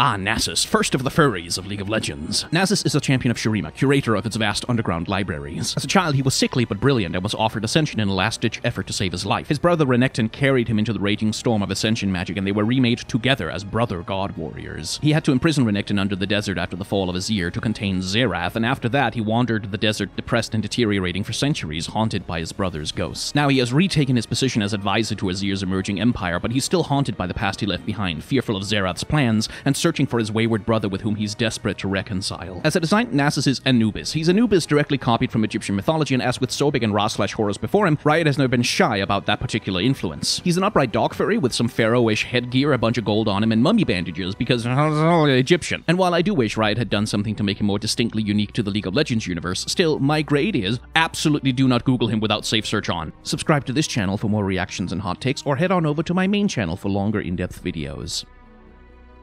Nautilus was once a salvage diver, scavenging treasure from wrecked ships, who always threw a coin to the bearded lady as tithe for safe passage over the waves. But then the treasure started to dry up, and in desperation he let an unscrupulous captain who refused to pay the tithe put him in a giant diving suit to dive too greedily and far too deep. Something took Nautilus there in the deep, and when he awoke after a hundred years of unnatural slumber, he found that the armored suit was his body now. With most of his memories lost, all he remembered was the captain who refused to pay the tithe, and the Titan of the Depths swore revenge on him and everyone else who refuses to pay what the sea is owed. Now, in Bilgewater, if your captain does not pay the tithe, the anchor of Nautilus will come for him.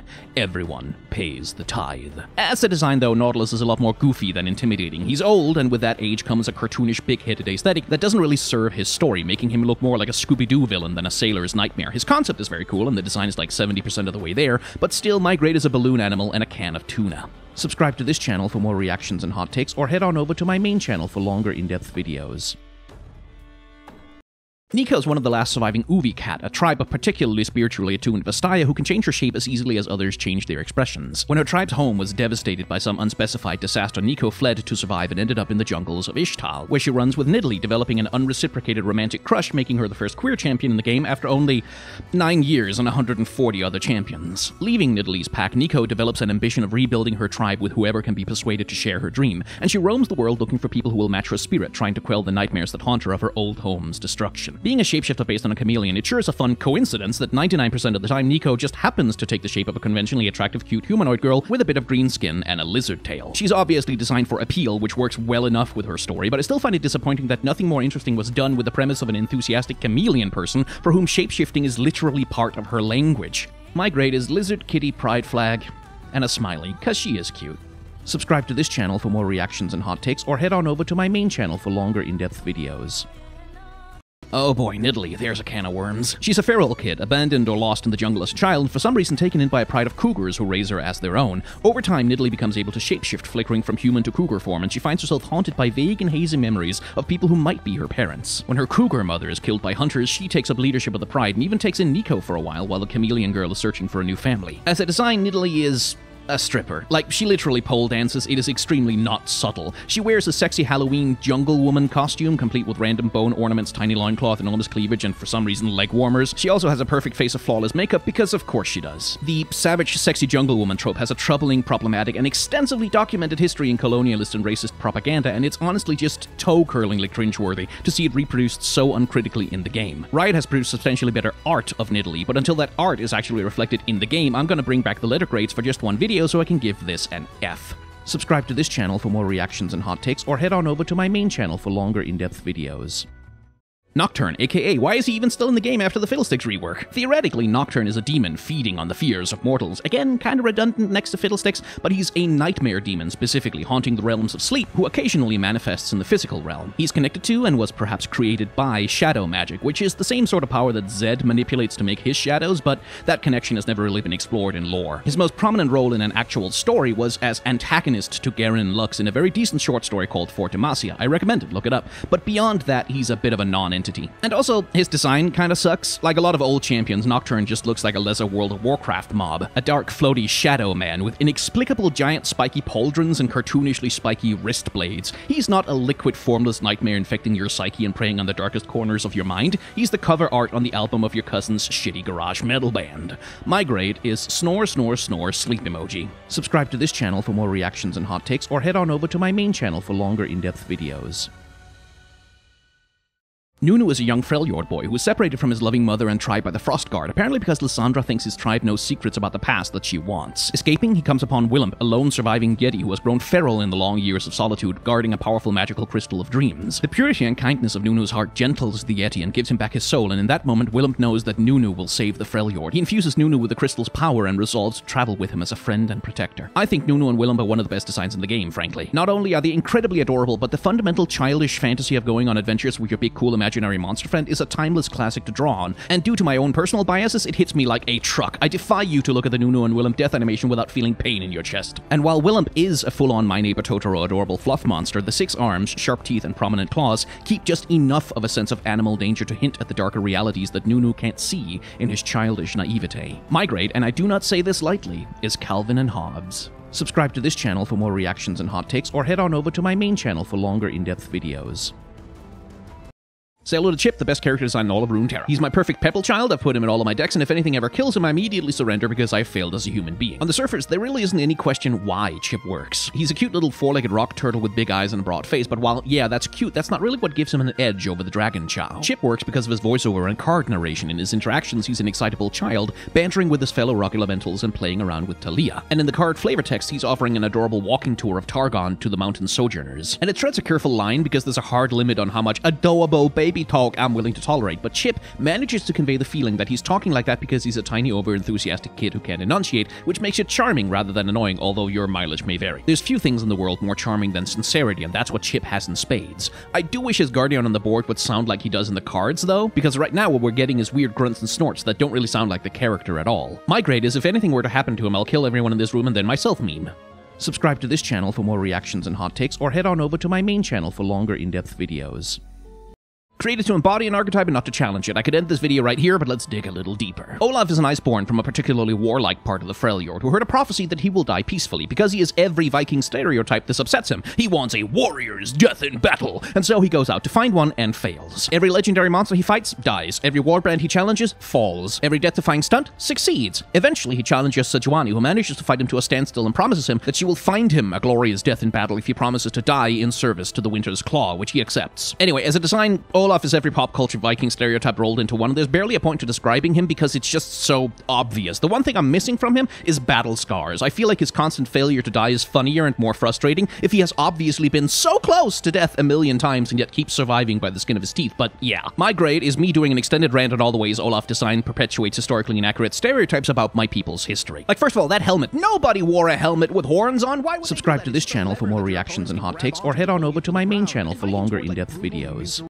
Orianna was once a human woman poisoned by the toxins of Zaun when she tried to help the victims of a chemical disaster. Her father, a brilliant Hextech engineer, replaced her poisoned limbs and organs with Hextech prosthetics until the poison left her with only her heart intact. And then the tables turned because Orianna's father developed a heart condition and with somewhat mechanical logic, Orianna gave him hers and replaced her own heart with a Hextech crystal contained in a floating orb. Now she wanders the world searching for a place to fit in, trying to reconcile her mechanical heart with her human soul. As a design, Orianna is probably a lot creepier than she needs to be, with especially her animation leaning into Uncanny Valley territory. And this is because she used to be written much more explicitly as a creepy murder doll rather than a tragic reverse Pinocchio. Still, there's a timeless classiness to her ornamented clockwork ballerina aesthetic, and I do love any design that plays with uncanny anatomy and breaking the human form unnaturally. I guess the one thing I'd say is that I feel like her orb is weirdly primitive and doesn't really play with the elaborate ballerina motif that she's got going overall. My grade is an artificial bird that sparkles like diamonds and sings only waltzes. Bonus points if you get the reference. Subscribe to this channel for more reactions and hot takes, or head on over to my main channel for longer in-depth videos. Ornn is a Freljord demigod, brother of Volibear, and a somewhat natural opposite to Volibear's raw survivalism, anger, and murder primitivism. He's a god of the forge, one of the creators of the Freljord, an introverted craftsman who cares deeply for his work, and a grumpy old fatherly caretaker whose gruff demeanor hides a deep well of emotion. Ornn once had a thriving community of followers, the Hearthblood, with whom he shared his passion for craftsmanship. They died in a cataclysmic confrontation between Ornn and Volibear, and he has never really gotten over the loss. With the old gods of the Freljord stirring to action, particularly his brother, Ornn too is exiting his isolation. He crafted the bridges of the Howling Abyss after after all, and presumably will play a part in battling the void horrors that are buried there. As a design, Ornn is essentially a box on legs, sturdy, squat, grounded, and eminently understated, with his elaborate horns the only bit of real decoration to his look. With his sensible blacksmith's apron, hammer, close cropped beard, and tool belt, he's the very image of the dependable dad, the patron saint of Home Depot, the avatar of wearing socks with sandals, and possibly the best hugger on all of Runeterra. My a deck, a set of power tools, and a barbecue pit. Subscribe to this channel for more reactions and hot takes, or head on over to my main channel for longer in-depth videos. Pantheon is a misotheist. He believes in the gods, but specifically he believes that they are assholes. Once a mortal named Atreus, who, as a warrior, was mostly good at getting up after a beating, he ascended Mount Targon and was possessed by the aspect of war, Pantheon, who essentially took his body on a joyride to go hunting Darkin on Runeterra. This turned out poorly for Pantheon when Aatrox lured him into a bad fight and stabbed him through the chest. Pantheon died, Atreus survived, and cursed the gods and Darkin both for treating human lives like toys in their petty games. Now he walks Runeterra using Pantheon's old weapons by sheer force of mortal will, battling back the abuses of Ascended and aspects alike, and trying to make a place for humanity among the divine. As a design, Pantheon is man candy. Designed very explicitly to be sexually appealing to, well, to people who are into his particular kind of muscle, hairy masculinity, fully leaning into the mythologized naked but for a loincloth ancient Greek hero aesthetic with a visible scar across his chest and shield emphasizing the mortal vulnerability that forms the core of his story themes. I'm not sure his sexualization is necessary, but it is unique and therefore I think a good addition. My grade is 100,000 League of Legends fans all experiencing the this better not awaken anything in me meme simultaneously. Subscribe to this channel for more reactions and hot takes, or head on over to my main channel for longer in-depth videos. Poppy is a humble yordle who helped found an entire nation and who is almost certainly a legendary hero meant to protect that nation from devastation. Being uncomfortable in the magical whimsy of Bandle City, Poppy was drawn to the militaristic discipline of the fledgling Demacia instead, and, and fell in with a legendary hero of the city's founding, Orlon, who eventually passed his equally legendary hammer onto her, telling her they was meant to go to a true hero of Demacia. When he died, she swore to find this hero and put the hammer in their hands. For centuries, she has traveled and protected Demacia with that hammer, eternally too humble to even consider that the hero could be her. As a design, Poppy is kind of wonderfully practical.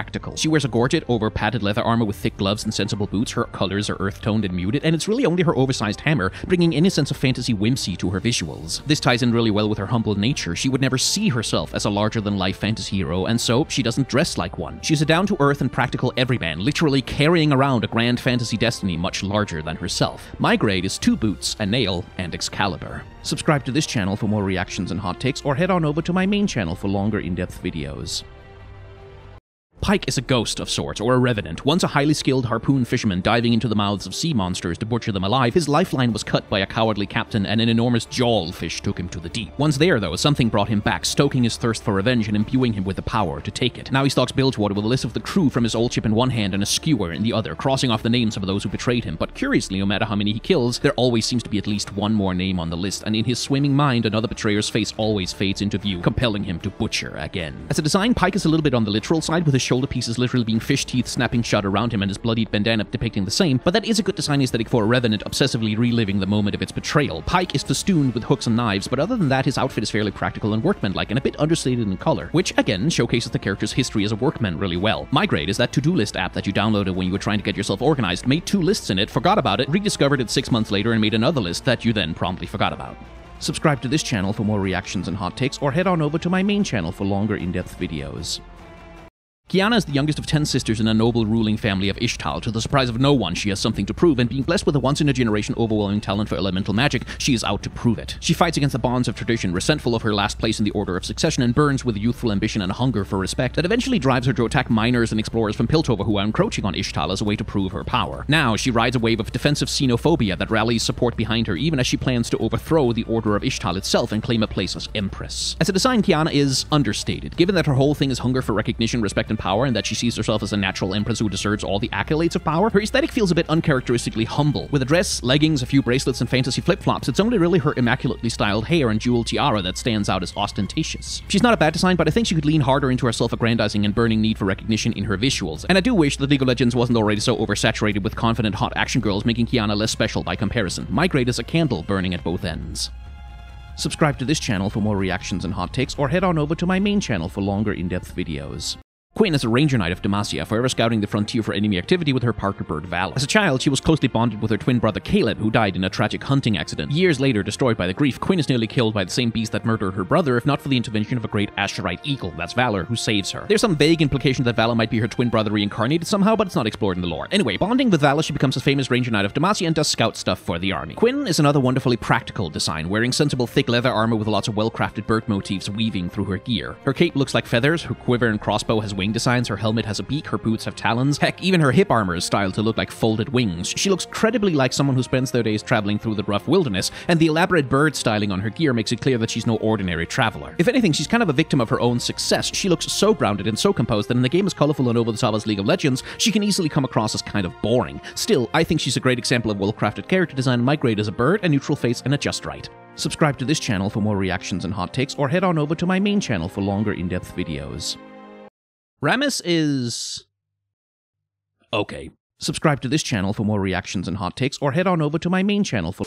Rammus is kind of unique in League of Legends. His legendarily limited voice acting and simplistic design has given him meme status in the game's community, and his lore leans into this. He is essentially a sort of meme in Shurima as well, with so much folklore and so many stories swirling around him that he's culturally elevated to a sort of legendary status far beyond what is probably actually justified by his nature. As a design, he is well, he's a spikeball turtle on legs. His simplicity kind of defies description because, like, yeah, he's an armadillo creature with spikes on it who rolls around like you would expect an armadillo creature with spikes on it to, you know, do. There really isn't much you can say about Rammus, either as analysis or criticism, except that he's triple S tier, the best character design in the entire game, and you can't change my mind. Bye! Subscribe to this channel for more reactions and hot takes, or head on over to my main channel for longer in depth videos.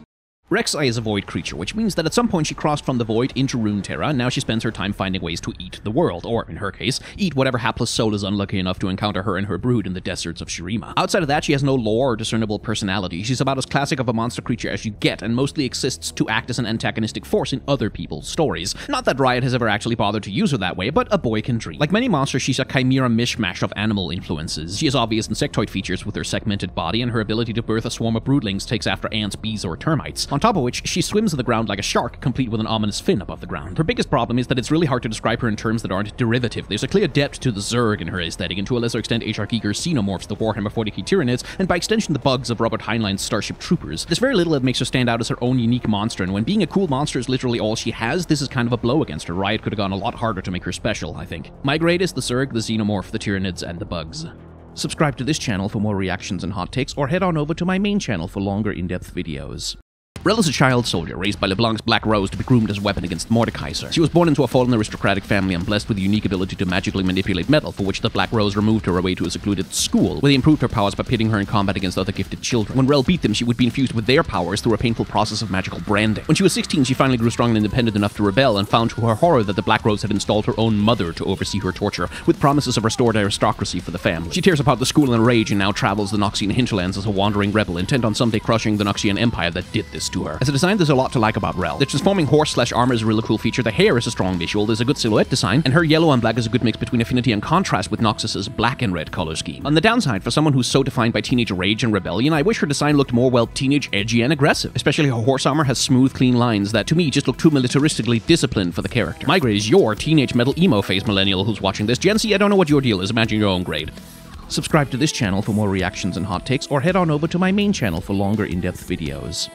Oh hey Sobek, nice of you to join us. Renekton is the brother of Nasus, a famous warrior with a tendency to give in to his rage, who nonetheless protected the sickly Nasus for most of his life. When Nasus was chosen for Ascension, Renekton carried him into the Sun Disk's magic, expecting to be obliterated, but was ascended instead. During Xerath's coup, Renekton volunteered to be sealed in with the Magus to hold him captive, but over a thousand years, Serath corrupted Renekton's mind and drove him mad with lies of Nasus as a betrayer. Legends of Runeterra implies that Renekton could still recover himself at least enough to coexist with his brother, but for now, the Butcher of the Sands wants nothing but his brother lying dead in the desert. As a design, just as Nasus is unambiguously Anubis, Renekton is unambiguously Sobek, and or also a furry, or scaly, I believe is the correct term. And he doesn't go much beyond that. He is, for better or worse, exactly the buff, angry crocodile man that you would expect from his basic description, with his most unique feature ultimately being his weapon, which looks sort of like a Klingon bat'leth. I wish both he and his brother pushed the boat out harder on looking unique, but oh well. My grade is this Kate Beaton comic. Subscribe to this channel for more reactions and hot takes, or head on over to my main channel for longer in-depth videos. Rengar is a Vastaya, that's a League of Legends furry, obsessed with hunting the most dangerous game of all, which is Space Bug. Born the runt of the litter to a clan of hunters, he was neglected by his father as a shameful failure, and then abused by an adoptive father who did teach him how to hunt. Fortunately, all this misery didn't affect him at all. Oh no, wait, it turned him into an obsessive lunatic whose only pleasure in life is the thrill of the hunt and who murdered his own birth father for being too cowardly to hunt Kha'Zix himself. Oh dear! Kha'Zix and Rengar are now two of a kind, mirror versions of one another, each obsessed with murdering the other to grow stronger, acting out a perverse parody of survival of the fittest in every fight. As a design, Rengar is a big cat furry. His anatomy is the most animalistic of the Vastaya champions, with his leonine features being used to exaggerate for him a big upper body, his braids imitating the bulk of a lion's mane. He is over adorned with spikes, skulls, bones, teeth, and trophies, and between that and the glowing badass eye patch, it's all a little edge lordy, but it works for the character who is, after all, that kind of guy. My grade is the Alien vs. Predator franchise, but not the Predator itself. It's too cool for Rengar. Subscribe to this channel for more reactions and hot takes, or head on over to my main channel for longer in-depth videos. Riven is a former Noxian soldier. Once fiercely committed to the Noxian ideals, she participated in the invasion of Ionia and witnessed unspeakable war crimes done in the name of empire. Disgusted, she shattered her own magical blade and went into self-imposed exile, eventually becoming the adoptive daughter of a pair of Ionian farmers. Some pasts can't stay buried, though, and Noxus eventually comes for Riven and her rune blade, which LeBlanc has some interest in recovering. Riven surrenders to avoid bloodshed on Ionian soil, and last we saw her, she was in chains in a Reckoner arena kicking the crap out of Draven. As a design, Riven is a very 2011 champion. Her proportions are awkward, her aesthetic is all over the place, and the themes of her story don't come through. Legends of Runeterra and recent media have updated her, smartly contrasting her armor and sword with an aggressively simplified outfit. Here, she looks at once too simply dressed to be a warrior, but also too warlike to be a simple farmer. There's a tension there. And with the, in my opinion, brilliant addition of that smear of Black Furiosa eyeshadow, her design excellently reads as a John Wick situation. Someone who's chosen a life of peace and pacifism, and gods have mercy on your soul if you ever motivate them to choose violence. She cannot get a visual update soon enough, but when she does, my grade will be the I'm thinking I'm back monologue. Subscribe to this channel for more reactions and hot takes, or head on over to my main channel for longer in-depth videos. Ah, Rumble, you precious little trash goblin. Rumble doesn't have a lore. The bio that he has currently is outdated and non-canon, and consequently it's hard to know how to evaluate him. Riot's direction seem to be making him a Shuriman Yordle who builds his janky mech from scrap from Piltover, which, okay, what does seem consistent is that he's a classic little guy who resents being looked down on, and who loves using his mechanical skills and giant mech to stand up to bullies and assholes. As a design, he is janky, and of course, he's supposed to be. His robot is supposed to be made from scrap and junk, but even from that perspective, that's not really what it looks like to me. This doesn't look like a scrap scrappy junk mech built by a resourceful scavenger who knows what they're doing, it looks like a bunch of perfectly intact pieces put together at random with no design sense or intent, and there is a difference. This looks like the work of a kid who took apart four different action figures and glued them back together wrong, not the work of someone who's cleverly repairing trash thrown away by others. Basically, its design is a decade old now, and it's really beginning to show. My grade is someone playing the Pacific Rim theme and getting all of the notes wrong. Subscribe to this channel for more reactions and hot takes, or head on over to my main channel for longer in-depth videos. Ah, this crossover between the Blue Man Group and ZZ Top was a better idea on paper. Ryze is an ancient wandering sorcerer tasked by himself with containing weapons of magical mass destruction called world runes. He saw firsthand the absolute horror of the rune wars and how the world runes that made the world can just as easily undo it as well, and so now he travels to every odd and remote location in the world to find and secure them before they can fall into the wrong hands. His primary competition in that goal is Kegan Rodhe, also known as Brand, Ryze's former apprentice until being tempted by the power of a world rune himself. Centuries of loneliness and loss has left Ryze a burdened man, and he's always struggling with the temptation of the power that he has sworn to guard. As a design, Ryze is fine. Blue skin, weird tattoos, big scroll, bushy beard. Yep, that sure looks like a sorcerer to me, alright. I like that his clothes are simple and practical, reflecting the humility that is necessary to pursue his quest in his life as a traveler, but mostly I just kinda wish he had some scars or battle damage visible on his body from all the hardship he has seen, or trinkets, souvenirs, and magical artifacts that he's picked up in his travels, but again, eh, he's fine. Subscribe to this channel for more reactions and hot takes, or head on over to my main channel for longer in-depth videos. Hey, Capcom can't sue you if you just gender swap your Dante clone. Samira is a mercenary both by trade and by heart. A Shuriman immigrant to Noxus who made a living as an acrobat, she found the thrill of battle when she was a soldier and became so addicted that she made a life as a thrill-seeking adrenaline junkie mercenary, reveling in her own ability to walk away from even the dumbest of decisions mostly unscathed. She has worked both for and against every major faction in Noxus, but her undeniable skills keep her in demand, most recently by the Black Rose, who hired her to track down Rell. As a design, Samira is the hot, sexy fantasy babe archetype I'm always complaining about in these videos, except for her, it works. Being the coolest motherfucker and the hottest piece of ass in any room she walks into is part of Samira's power fantasy just as surely as it is Bayonetta's or Dante's, and as a consummate cocky show-off, Samira's perfect makeup and flashy outfits fits her concept perfectly. My only quibble is I wish she had some cool-ass battle scars besides just the missing eye, but yeah, no, Samira kicks ass and I love her design. Subscribe to this channel for more reactions and hot takes, or head on over to my main channel for longer in-depth videos. Sejuani is the leader of the Winter's Claw, a tribe that believes in violence and power above all else, and as such, she's a natural enemy of the peacemaking Avarosans. What an irony that her and Ashe used to be each other's closest friends and sworn sisters. Sejuani's mother abandoned her early in life, chasing the love of another man, who turns out to be Udyr, actually, and Sejuani was raised by her unloving grandmother instead. When Sejuani's mother returned and took over the tribe and proved every bit as unloving as her grandmother had been, Sejuani had enough and challenged her mother for leadership. She won, but her heart was irrevocably hardened, and she now believes only power can secure the future of her tribe, for which reason she has allied herself with the brutal Volibear. As a design, Sejuani is pretty solid. She's a powerful frontline warrior from the frail Freljord, and she dresses like it with heavy furs and metal plate, and her giant boar, Bristle, gives her an edge of animal savagery to boot. The broken horn on her helm is also a great detail to show her willingness to get into the thick of it. The vulnerable cleavage in the middle of her chest is a bit silly, but it's not a deal breaker. Her femininity is important to the character, even if I would say that that gets shown off plenty by the boob plate and giving her any visible vulnerability kind of goes against the spirit of the character. Subscribe to this channel for more reactions and hot takes, or head on over to my main channel for longer in-depth videos. Senna was once upon a time the quintessential fridged girlfriend of League of Legends. She used to exist in the lore primarily as a motivation for Lucian to get really mad and chase Thresh around all the time, but Riot eventually thought better of it and made her a champion. Possessed by what seems to be a part of Viego's wife's soul, the Black Mist has chased Senna all her life, leading to her decision to become a Sentinel of Light and fight back. She was trapped for years in Thresh's lantern, but when she escaped, she brought with her the ability to manipulate the lost souls of the Black Mist and fight back against the Ruined King's control. As a design, Senna is pretty good. She has the standard League of Legends fantasy babe body type and title of the pants for some reason, which, yeah, fine. But if you give any design a giant f***ing cannon, it'll always look at least 120% cooler to me. Her ethereal ghostly cloak is a cool visual as well, but I just wish her dual alive and dead nature was more visible on her design. Like, if some parts of her actual body was spectral, scary, and Shadow Isles-like. Like many other champions, she has a concept that I think could be so much cooler if Riot would just dare to go a little more out there with it. Subscribe to this channel for more reactions and hot takes, or head on over to my main channel for longer in-depth videos. Seraphine's going to need three videos, and this is part one where we talk about the hate. And we have to start with this because the discourse around her is frankly toxic, and I don't want people to misconstrue where I'm coming from. Seraphine is probably one of the most loudly hated champions in recent memory, and I don't think it's all deserved. There are legitimate criticisms. For example, it's pretty obvious that Riot decided to make KDA Seraphine first, and then shoved her Runeterra incarnation into the game as an afterthought to justify the ultimate skin. As a music champion, she doesn't do a great job of differentiating herself from Sona, and her character design prioritizes making her a modern-looking, adorable pop star over making her look like a natural part of Piltover and Zaun. Her lore is also a bit of a mess, accidentally implying that she's abusing the soul of one of Skarner's people to power her career, which had to be fixed with a hasty retcon. But here's the thing when I get comments about Seraphine, there's like an 80% chance that I have to delete them because they contain some kind of slur or violent insult. There are champions with much worse lore who commit far worse crimes in their stories, and people aren't coming for them like this. So when this many gamers TM are in my comments calling a female character slurs, they are not doing it because of legitimate criticisms. Again, Seraphine could be argued to have plenty of problems, but calling her a or a or a or whatever isn't one of them, and I don't want that bullshit in my comments. So if you do that kind of thing, fuck off.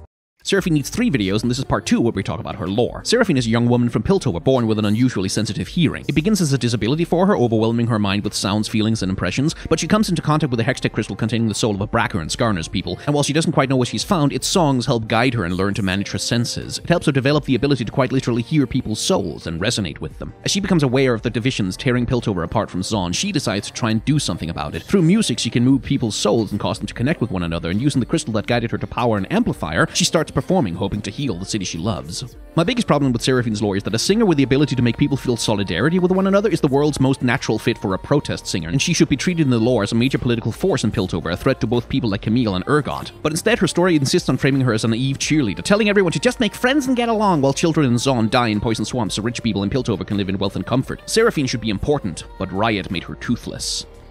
Subscribe to this channel for more reactions and hot takes, or head on over to my main channel for longer in-depth videos. Seraphine needs three videos, and this is part three where we talk about her design. Seraphine as a design is broadly speaking like alright. It is clear that Riot created her primarily to make KDA Seraphine, and my suspicion is that they worked backwards from the KDA design to create the Runeterra version, essentially isekaiing a modern design into their fantasy game. The result of that is a character who just doesn't look like she fits into the world that she's living in. As a pop star, of course, her costumes are supposed to be out there and extravagant, but looking at her, it's hard to find any influence from the aesthetics of either Piltover or Zaun in her look, and when a love of the city she calls her home is the driving force that motivates her, that's kind of disappointing, especially when her concept art shows versions that clearly understand the importance of connecting her to her home culture. I also think that between the long hair and the floating movement aesthetic, she overlaps weirdly too much with Sona, the only other music champion in the game who also has very long hair and floats. I feel like it must have been possible to make her more different than that. All of that being said, does Seraphine look like a bubbly, positive pop star who just wants everyone to get along and have a good time? Yes, her design is for its purposes fine. It's okay. Subscribe to this channel for more reactions and hot takes, or head on over to my main channel for longer in-depth videos.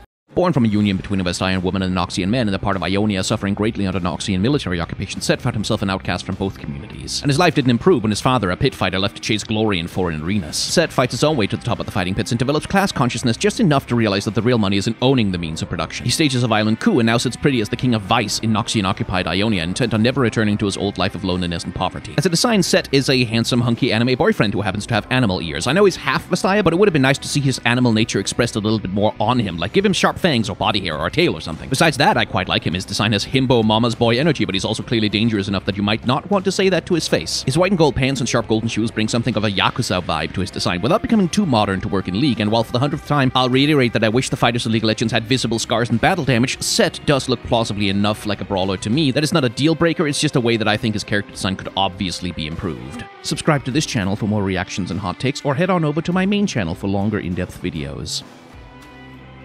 Shaco is barely a character. Even before the 2014 lore retcon, his story basically boiled down to a scary murder clown who kills people and nobody knows why. His current bio has him as a marionette corrupted by dark magic, but it's essentially an empty placeholder. He has no role in the lore, no connections to other champions, and no stories to his name, and it's been this way ever since he was added to the game 11 years ago. Ironically, this has accidentally made him somewhat unique in the game, the only champion with no actual story whatsoever, and a character who has no lore and exists for no reason could be an interesting concept for a horror-themed champion if Riot ever decide to, you know, do anything with him. As a design, though, Shaco is a murder clown. He's a jester with knives and a big joker face who kills people and laughs about it. Checkerboard pattern, red and black, silly shoes, weird hat. If you've seen one of these, you've seen a million of them on DeviantArt, and literally nothing about Shaco's design is unique or especially compelling. I don't even know what to say about him. He's just the most obvious overdone version of his own character archetype, and I can't find it in myself to have any strong feelings about him whatsoever.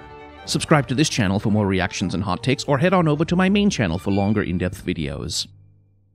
Shen is a ninja who's also a tank, which, huh, he's the Eye of Twilight, a powerful role in the Order of the Kinkou as arbiter between the material world and the spirit realm. League of Legends Jedi, basically, and if Shen is Obi-Wan, Zed is Anakin. When the Kinkou refuse to defend Ionia from Noxus, Shen holds true to the Order while Zed rebels and forms the Order of Shadows. Left to rebuild the ruins, Shen takes on Akali as an apprentice, League of Legends Ahsoka, basically, until she too abandons the restrictive pacifism of the Kinkou as a relic of the past. Shen still struggles with his role and with his many, many definitely heterosexual feelings about Zed, but remains steadfastly boring as the Eye of Twilight, which extends to his character design because Shen is a ninja and that's kind of it. The interesting thing about him is that rather than be a slender, nimble acrobat, he's built like a brick house. He's a tank, not an assassin, and that is an interesting idea, albeit it's only really expressed with some armor and a more bulky form. Still, it is something. Where Zed has the cheesy 90s cartoon shredder vibe and Akali brings a modern street fashion sensibility, Shen is the boring, sensible, conservative standard model from which they deviate, and that's probably okay. Subscribe to this channel for more reactions and hot takes, or head on over to my main channel for longer in-depth videos. Shyvana is a half-dragon born from an egg that was stolen by a human mage from a great elemental dragon. Why exactly that causes her to hatch as a humanoid is never explained, but her mother never forgets her, and when she grows up enough to spread her own wings, her mother kills her adoptive father and comes hunting her. By sheer coincidence, she finds Jarvan IV wounded in the woods and saves his life in return for which he rallies a garrison of Demacian soldiers to defend her from her mother. Shyvana eventually commits matricide, and safe at last, Jarvan takes her on as his personal retainer and potential love interest, which is awkward. As a design, Shyvana is really cool in her splash art. In her actual character model, she's a skinny purple girl in a rather silly looking armor, and her dragon form, which is supposed to be badass, powerful, and cool, looks gangly, fragile, and awkward. There's opportunities to do some really cool shit with Shyvana by more fully mixing her human form with dragon attributes or playing with a more extreme contrast between her human and dragon forms, but as it stands in the game, she looks more like a Halloween costume than a fiery warrior channeling the elemental rage of dragons. Also, the romance with Jarvan, I run a country that wants to kill you for existing the fourth is weird. It's just weird. She deserves better. Subscribe to this channel for more reactions and hot takes, or head on over to my main channel for longer in-depth videos. A brilliant scientist who peered into the mysteries of chemistry and physics, Singed found himself on the outs in Piltover when Hextech technology supplanted alchemy. Considering the use of magic a kind of scientific cheating, he lost the favor of Piltover's upper class and retreated his scientific practice to Zaun, where rent is cheap and life is cheaper. With no ethical oversight to hamper his pursuits, he rapidly descended into monstrous experimentation on the homeless and destitute, taking chem barons and killers as clients for his poisons. Eventually, Noxus takes notice and he creates for them horrifying chemical weapons with which they devastate Ionia civilians and ecology. Not content with mere war crimes, he has turned his attention to biological experiments, longing for immortality to continue his scientific pursuits forever. Warwick is one failed experiment in that direction, but dozens or hundreds did not survive his brutality. Pity that as a design he looks like a complete cartoon character decked out in bright colors, incomprehensible spikes, and nonsensical Warcraft pauldrons with a giant shield, because this frail, dying mad scientist is a tank on Summoner's Rift, so he stole some horde gear to go raiding, I guess. Singed is one of the darkest characters in the game and absolutely one of the most sinister, and his design utterly fails to communicate his menace or seriousness, which sucks. He needs a rework. Subscribe to this channel for more reactions and hot takes, or head on over to my main channel for longer in-depth videos. Once a terrifying warlord from one of the original tribes of Noxus, Sion charged mercilessly into battle with the Demacians despite his armies falling around him. He's killed, but not before he tears the crown of Jarvan I from his head and chokes the king to death with his bare hands. Metal. Noxus is not a place to let ethics get in the way of conquest, though, and former Grand General Boram Darkwill has the Black Rose reanimate Sion as an undead battle master. Trouble is, with his mind deteriorated and his rage amplified, Sion has a tendency to slaughter as many allies as enemies, and so eventually he is locked away in his tomb again when the losses decimate morale. Enter Swain, who sees in Sion a valuable resource and who unearths him again to be deployed as a weapon of terror to punish Noxian territories that dare to rebel. Sion himself feels nothing anymore but painful fragmented memories and an unquenchable thirst for destruction and death, and a fading consciousness that he used to be more than a mere thing. As a design, Sion is pretty brilliant, honestly. The bloody furnace in his stomach makes him clearly artificial, the giant surgery scar makes him clearly undead, the dagger in his head with a streaming ribbon is a compelling visual, and the crown of Jarvan the First grafted onto his jaw is just badass. Sion is cool as hell, and I'm glad he's not doing a bad Arnold Schwarzenegger impression anymore. Subscribe to this channel for more reactions and hot takes, or head on over to my main channel for longer in-depth videos. Sivir is a warrior who really, really doesn't want to be a princess. She's a mercenary, Tomb Raider, and killer for hire of Shurima, the best of the best, wielding a unique crossblade that once belonged to an ascended god warrior. Sivir has an infinite list of enemies and a fierce desire for independence, all of which makes her perhaps the worst possible person to inherit an empire. Unbeknownst to her, she's the last living descendant of Azir's line, and when she was mortally wounded while raiding his tomb, her blood brought his spirit back to save her life. For that act of selflessness, Azir is restored as an ascendant and rebuilt his empire. Sivir, though, wants nothing to do with grand destinies, and is now on the run both from Azir's earnest attempts to adopt her and Xerath's armies that see her as a threat. As a design, Sivir is Xena warrior princess, to the point that that's literally one of her skins. She's also pretty pale for a lady who spends her life running around in the sunniest desert on the planet, and she dresses unwisely for her environment. There's a reason desert-dwelling people usually cover up, and it's called sunburn and skin cancer. She's also yet another battle-hardened, lifelong mercenary fighting for her life in a brutal environment who has no scars or battle damage to speak of, which I insist is still dumb. I do think Sivir looks cool and badass, but to me her design is doing very shoddy storytelling about her life and her character. Subscribe to this channel for more reactions and hot takes, or head on over to my main channel for longer in-depth videos. Skarner is a Brackern, a race of crystal creatures who form a network of gestalt consciousnesses between their crystal cores, sharing their thoughts, feelings, and memories through resonant song. The Brackern go into defensive hibernation to avoid the rune wars and sleep for centuries, until one day Skarner is awoken by a great collective scream of psychic pain. Humans have come with explosives and pickaxes mining the crystal cores from his people's bodies. Skarner survives, but the rest of his race is rendered dead or comatose by the trauma, and the thieves themselves flee with many of his people's souls. In Piltover, those crystals become known as Hextech crystals. Most modern crystals are synthetic reproductions, but the originals still exist in that place, calling out to Skarner's mind, and he is determined to recover them. It was Camille's family, by the way, who were responsible for that crime, and part of her work is keeping it covered up. As a design, Skarner is a crystal scorpion, and not a very creative one. He's really just kind of rocky and weirdly colored, and looks more like a random RPG mob than a thinking character. A lot more could be done with his design to incorporate the unique structures of crystals or features like translucency and musical resonance. Everything that makes him unique in the lore is missing from his design, and it's a pity because the lore is really cool, and I hope Riot doesn't retcon it when they rework him. Subscribe to this channel for more reactions and hot takes, or head on over to my main channel for longer in-depth videos. Hey, did you know League of Legends was invented by Hatsune Miku? Sona is a foundling from a monastery in Ionia. Born mute with no voice, she instead found a way to express herself with music through her etwahl, a mystical instrument which was found with her when she was abandoned as a baby. When Noxus invades Ionia, Sona is among the refugees who flee, ending up in Demacia and coming into the care of a Demacian noble family. Growing up, she earns a deserved reputation for being a virtuoso, using her music to bring joy to her listeners, but she must hide the magical nature of her instrument and abilities from the fascistic mage seekers. Being protected by a noble family, of course, makes that a lot easier because Demacia loves nothing like it loves hypocrisy and noble privilege. In the wake of the Mage Rebellion, Sona is determined to use her gifts to bring healing and reconciliation to her divided country, using her gift for music to bridge the emotional divide. And hey, is it just me, or does this all sound familiar somehow? As the design, Sona is, yeah, fine. The massive cleavage feels a bit unnecessary, the Hatsune Miku reference is unavoidable, and having a bass and treble clef on her dress is maybe a bit obvious, but my real complaint is that her instrument just looks like strings nailed to a table. It's based on like a Guqin or Guzheng, but those instruments have soundboards and tuning pegs and variable string links. This thing to me just doesn't look like it was made to play music at all. Subscribe to this channel for more reactions and hot takes, or head on over to my main channel for longer in-depth videos. Soraka is a celestial, the same species of creature responsible for creating the aspects and giving ascension magic to Shurima. From her home in the stars, she looked at Runeterra and was like, boy, sure is a lot of murder and war going on down there. I should do something about that. And so she made a mortal body for herself, a Vastaya body specifically, and though her celestial magic burns her mortal form inside and out, she wanders Runeterra, healing the sick, guiding mortals who have lost their way, and marveling at the chaos of life in a sort of new age way, like, wow, all this suffering and misery is somehow part of a grander symmetry in the universe, and therefore it's actually good, question mark? As a design, Soraka is, well, she's a skinny hot lady with goat legs and a horn, and for me, like, if she absolutely has to be eye candy, and I don't think she does, but if you insist, the nurturing, self sacrificing, guiding healer as old as the universe is surely League of Legends' best candidate for a hot MILF design. Like, if she must be sexy, make her sexy in a way that suits the character archetype, surely. Personally, I like Soraka's celestial design in the Realms of Runeterra book a lot better. This is unique, odd, interesting, and kinda hot without being boring about it. Current Soraka, though, eh, just too basic in my opinion. Subscribe to this channel for more reactions and hot takes, or head on over to my main channel for longer in depth videos. Oh, hello, Demon Daddy. I'm about to make your simps mad at me. Swain is a tyrant of Noxus, a former battlefield general who got his ass handed to him by Aurelia, and went and did a pact with a demon about it to receive a snazzy new arm and superpowers, because if you can't win in a fair fight, you can always cheat. Using his connections as a noble, and with an assist from Draven, he assassinates the leader of Noxus and takes his place. Then, with support from Darius' army, he establishes a Roman-style triumvirate to cement his power, and has revitalized Noxian conquest, launching a second invasion of Ionia and deploying spies and assassins against Demacia. He also keeps Sion around to use as a weapon of terror against his own territories if they rebel. Fun! As a design, I fully approve approve of straight up stealing the character design of Lucius Malfoy from Harry Potter because TERFs shouldn't have nice things. Swain is the primo Silver Fox daddy of the game and incorporates a distinctly modern look with his long overcoat and riding boots, which goes well with his visionary ahead of his time gimmick, but is also pulling from the aesthetics of 20th century European fascism to visually indicate that the dude should not be understood as a hero. Swain is a fantastic villain design and he deserves his simps, just don't be too eager to swallow his, uh, propaganda. Subscribe to this channel for more reactions and hot takes, or head on over to my main channel for longer in-depth videos.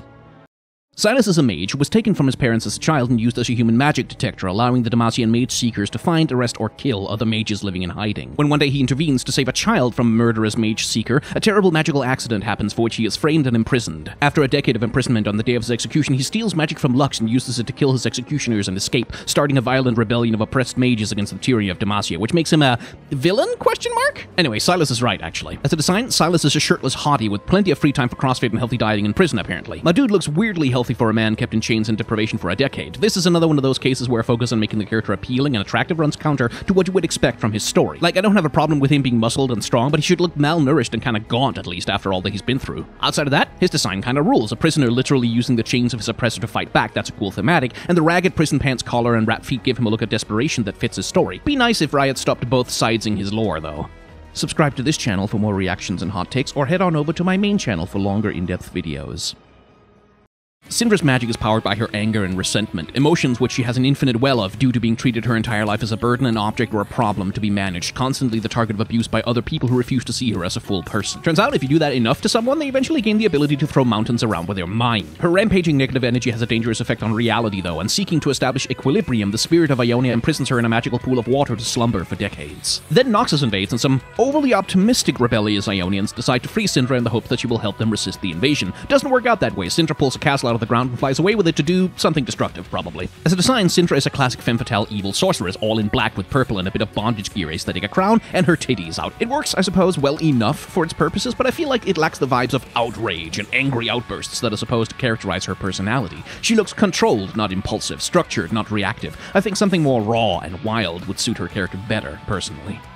Subscribe to this channel for more reactions and hot takes, or head on over to my main channel for longer in-depth videos. Hey baby, got a vor kink? Do you want one? Tahm Kench is a demon of addiction and despair. He tempts people with their wildest fantasies and dreams, and when they sign his devil's contract, he gives them everything they could have ever wanted, only to consume their misery and despair like a fine meal as he slowly takes it away again, piece by piece. And once his victim is fully broken, drained of every drop of misery they have to offer, he eats them as well. I'm always a bit frustrated when character designs use fatness as synecdoche for evil and gluttony. It's a tired trope, and fat people get enough shit from society without this coding and media reinforcing ugly stereotypes. Personally, I think emaciated skinniness makes a better visual coding for insatiable hunger, but even in spite of all of this, Tahm Kench is absolutely one of my favorite designs in the game. He's a literal catfish who literally catfishes people, merged with a classic Americana archetype, the smooth-talking riverboat swindler, hiding his monstrous nature behind good old polite southern affability. His waistcoat rings, tiny top hat, and enormous carnivorous smile completes the sense of theatricality that gives him his charm. And come on, man, his champion theme, that's vibes for days. I love this champion. Subscribe to this channel for more reactions and hot takes, or head on over to my main channel for longer in-depth videos. Ah, my girl Taliyah. She comes from a tribe of Shuriman weaver nomads, but rather than weave wool, Taliyah weaves the very rock of the earth itself. Traveling the world to learn about her power, she's taken by Noxians and eventually sent to Ionia to be used as a human weapon. Refusing, she escapes and meets Yasuo, drinking away his trauma. The two wanderers become companions, and Yasuo uses his knowledge of wind magic to teach Taliyah control and discipline, and in teaching her, puts some of his own demons to rest. Taliyah eventually returns to Shurima just in time to see Xerath and Azir rise from history and tear the continent apart. Taliyah was all set to be important to that story, accompanying Sivir and Nasus to resist Xerath, but Riot lost interest and left the story hanging, which is a classic Riot move. As a design, Taliyah is one of Riot's attempts to diversify their female characters, and a bloody successful one at that. She has a unique face with a strong nose and brows, and a skinny tomboyish body type that sets her apart from other more generic champions. Her long coat sleeves festooned with rocks emphasize her dancer-like weaving movement, and the red, gold, and brown color scheme identifies her beautifully with the dry earth and desert. Taliyah is a reminder that just as popular design is not always good, good design is not always popular. Subscribe to this channel for more reactions and hot takes, or head on over to my main channel for longer in-depth videos. Talon is a Noxian street kid who learned to kill to survive, and then he got so good at killing that he managed to turn it into a career, which hey, good for him. Taken in by Katarina's family, he's a racist and assassin for Noxus traveling the world to murder for whoever is in charge. When Katarina is marked as persona non grata by her own father, it's Talon who's sent to kill her. He fails, although he does give her that big red scar, and frustrated by his failure, he becomes obsessed with tracking and killing Katarina, whose wild, impulsive style he finds intellectually inferior to his logical, measured, and extremely brain-powered smart guy killing. So yeah, the dude is basically written as a creepy stalker incel, but obsessed with murder instead of harassing Twitch streamers for having breasts. As a design, Talon is extremely generic, even for a League of Legends champion. Assassin's Creed hood, wristblade, and then metal boots and a cape with metal spikes, the rattling of which must surely give him disadvantage on his sneak checks. I do think the spiky cape is probably his coolest and most unique visual, but Talon to me just doesn't look like a silent and obsessive perfectionist killer. He looks like the protagonist of a C-tier PS3 action game. He looks loud and ostentatious, not quiet and introverted. He could do with an update. Subscribe to this channel for more reactions and hot takes, or head on over to my main channel for longer in-depth videos. Maybe he's born with it. Taric began life as a Demacian soldier, a good friend to Garen, whose aesthetic sense of wonder about the world unfortunately made him a bad commander. His inattention saw his entire unit killed, and as punishment he was made to endure the Crown of Stone, a fancy Demacian term for go climb Mount Targon, and if you don't die, we won't kill you. Taric makes the climb, haunted by the voices of those he failed to protect, and reaching the apex he is chosen and transformed into the aspect of the Protector, charged with defending the beauty and preciousness of life on Runeterra. As a design, Taric is Fabio, a very large, handsome, well-manicured man with a huge cleavage and generally very soft aesthetic, identified with blues and purples because even if Rai won't say it out loud, he's definitely coded as bisexual. He's also kept quite simple, no elaborate armor, fairly understated fashion, with his floating gems and giant mace providing visual flavor. This relative vulnerability to me does a good job of showing him as a warrior who's not interested in war and gives him a peaceful and relatively pacifist vibe compared to, say, spiky McSharpage characters like Darius. Oh, and common misconception, just because he's hot doesn't mean he's sexualized. Base Taric is not a sexualized design. Armor of the 5th Age Taric, on the other hand. Subscribe to this channel for more reactions and hot takes, or head on over to my main channel for longer in-depth videos. Hail the Lord Satan! Feared be thy name, and cursed be thy laughter! Like Rumble, Teemo has no real lore. What he's got is desperately outdated, and since he's never been part of any meaningful stories, we know next to nothing about what the deal is supposed to be with this guy. In the absence of anything official, the community has stepped up to meme him a personality, specifically the personality of an Unrepentant hell demon whose only pleasure is our pain! It seems like he's supposed to be a self-appointed scout of Bandle City, cheerfully charting the world, picking up interesting mushrooms, and making poison out of them to kill people with. He's got a greenhouse of them in Zaun, and seems to have a friend group going with Tristana, Lulu, and Corki, but besides that, he's kind of an empty character. As a design, he's also not great. He's a hamster in a hat with a blowpipe. He's become iconic to the game by sheer force of time, but his design is a clunky mess with very little cohesion or storytelling, in my opinion. I like that he carries around maps, I guess, but yeah, no, Teemo's design sucks. Make Devil Teemo canon instead. Subscribe to this channel for more reactions and hot takes, or head on over to my main channel for longer in-depth videos.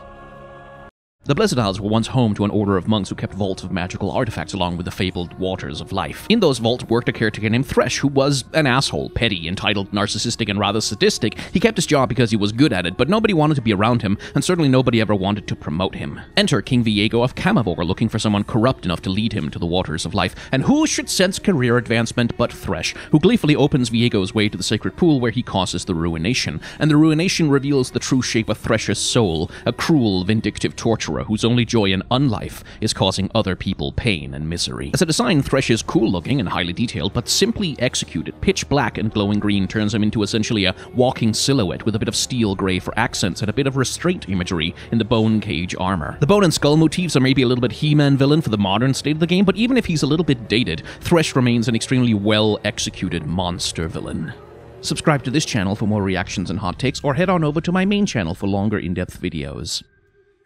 Tristana is a curious Yordle who spent a long time wandering Runeterra, marveling at its wonders, and became especially fascinated with the martial technology and armies that marched across the land. One day, though, she witnesses what seems like a Noxian sorcerer destroying a Bandle Wood, a magical grove that serves as a portal to Bandle City. The magical backlash from this destruction causes pain throughout the Yordle spiritual realm and hurts Tristana to her soul, and she resolves to protect her people from anyone doing anything like that ever again. She commissions a cannon from a Bilgewater gunsmith and appoints herself the defender of Bandle City, protecting especially the Bandle Woods from mortal destruction. As a design, Tristana is a classic short stack with a giant weapon design similar to Poppy, but where Poppy is serious, Tristana is more of a cartoon character. She wears protective blast padding, but has a cute crop top, which is not adequate explosives protection for someone who rocket jumps, but like Kled, she's clearly meant to be understood in more of a Looney Tunes kind of way, so it works. Interestingly, her character model is also more human than Poppy, with her giant eyes and enormous pupils giving her almost a sort of alien energy. Doesn't seem intentional, but it could have been a cool direction to take the Yordles once upon a time. Subscribe to this channel for more reactions and hot takes, or head on over to my main channel for longer in-depth videos. Trundle is the king of the ice trolls in the Freljord, self-proclaimed anyway. Smarter than the average troll, which is not saying much, he was thrown out of his tribe for having clever ideas above his station. Wandering the wastelands, he dreamt of greater things than only food and fornicating, and quite by accident, he found his way into the heart of Lissandra's domain. Apparently immune to the voices of the Watchers, possibly by simply being unable to comprehend them, Lissandra sees an opportunity with Trundle and gives him a great club of true ice and tells him that he is to be king of all trolls, and that he should unite the troll tribes to form an alliance with her. Trundle takes the club, accepts his newfound grand destiny, and quite successfully beats to death every troll that stands between him and kingship, which, to be fair, is how all monarchies are established. As a design, Trundle is a troll in the classic Nordic tradition, being an awkwardly shaped, craggy, and lumpy thing with wild hair, big teeth, and a fat nose. Interestingly, he's not like a 12 foot tall, hyper muscled bodybuilder. He has more of a wiry build. Still powerful, but looks a bit more agile, which I like. Legends of Runeterra, though, put him on a protein diet and sent him to the gym. Benefits of being a king, I guess. Subscribe to this channel for more reactions and hot takes, or head on over to my main channel for longer in depth videos.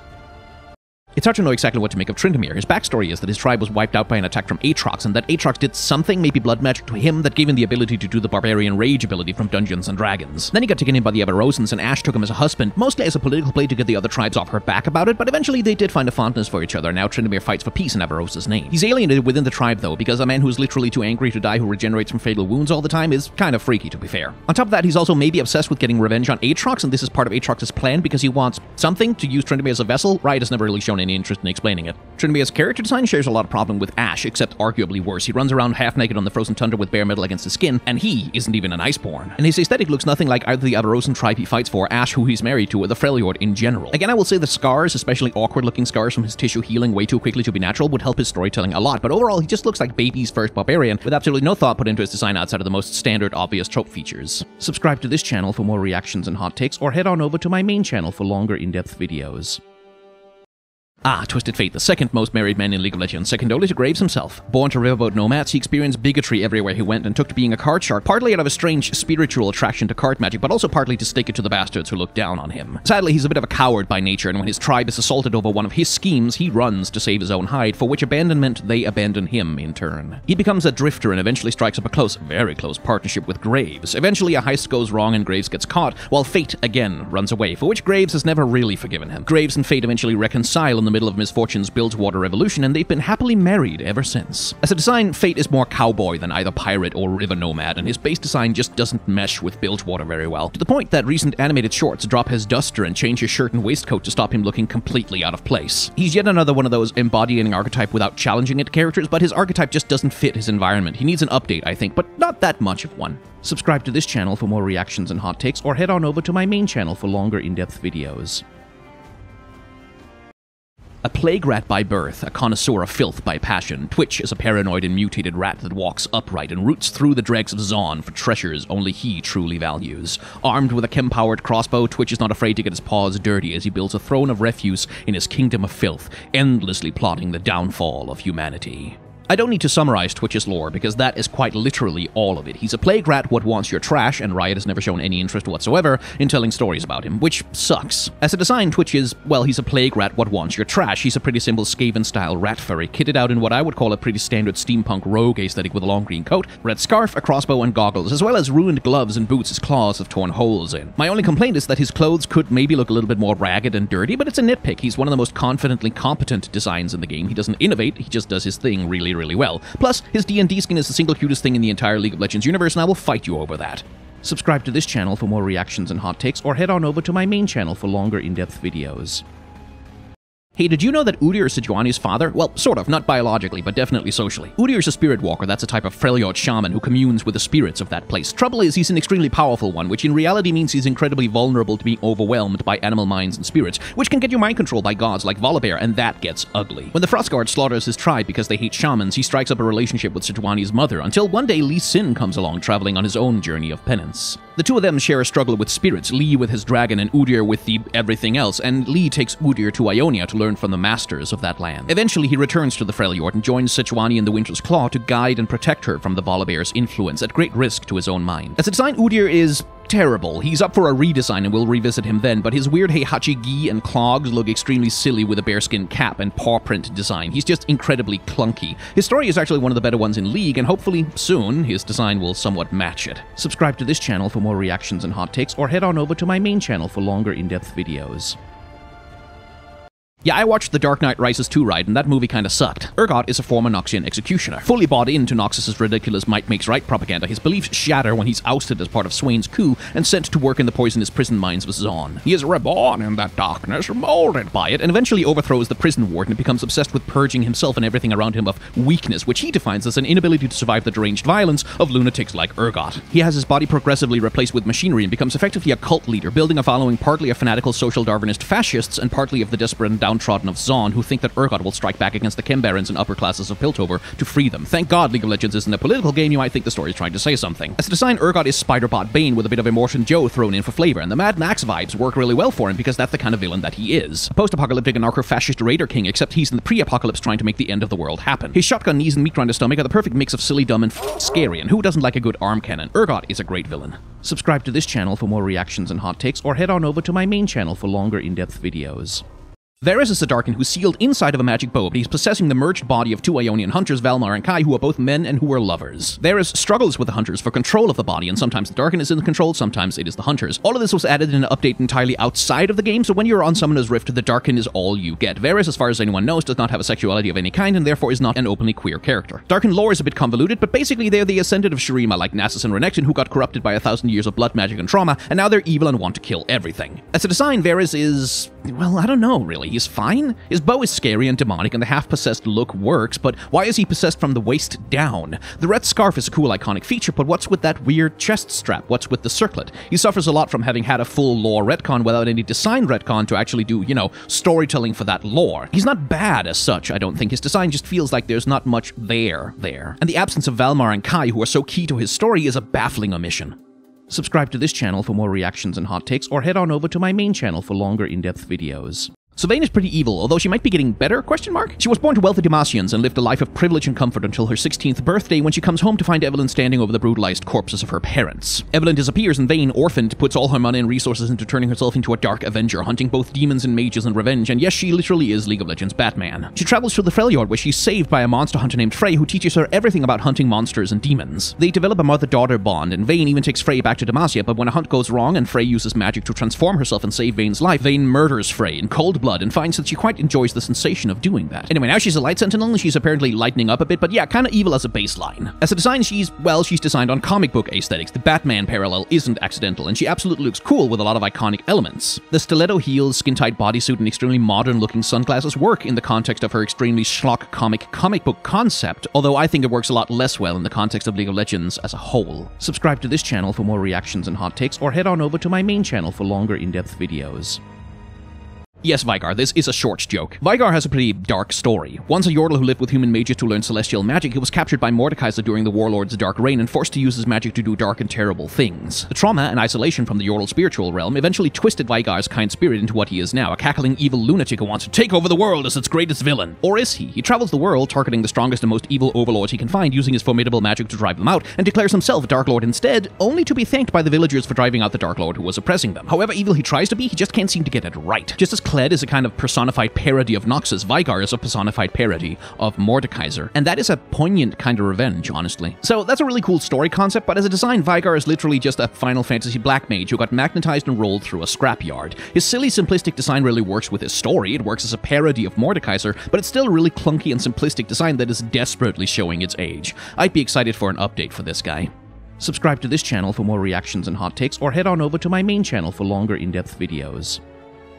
Please don't make tentacle jokes in the comments. Vel'Koz is a Voidborn, a cosmic horror creature from the anti-universe. His purpose is to collect information and knowledge and to understand what the physical realm is so the Void can destroy it. The way that he does this is by ripping it apart with his arms and lasers and studying every individual atom as it is deconstructed into nothingness. He does this to rocks, he does this to people. Unlike more feral beasts like Cho'Gath or Rek'Sai though, his job requires an intelligence of his own and thus he has a very distinct personality and perhaps more complex motivations of his own. He seems, reading between the lines, reluctant to end the universe at least until he's done studying it, for example.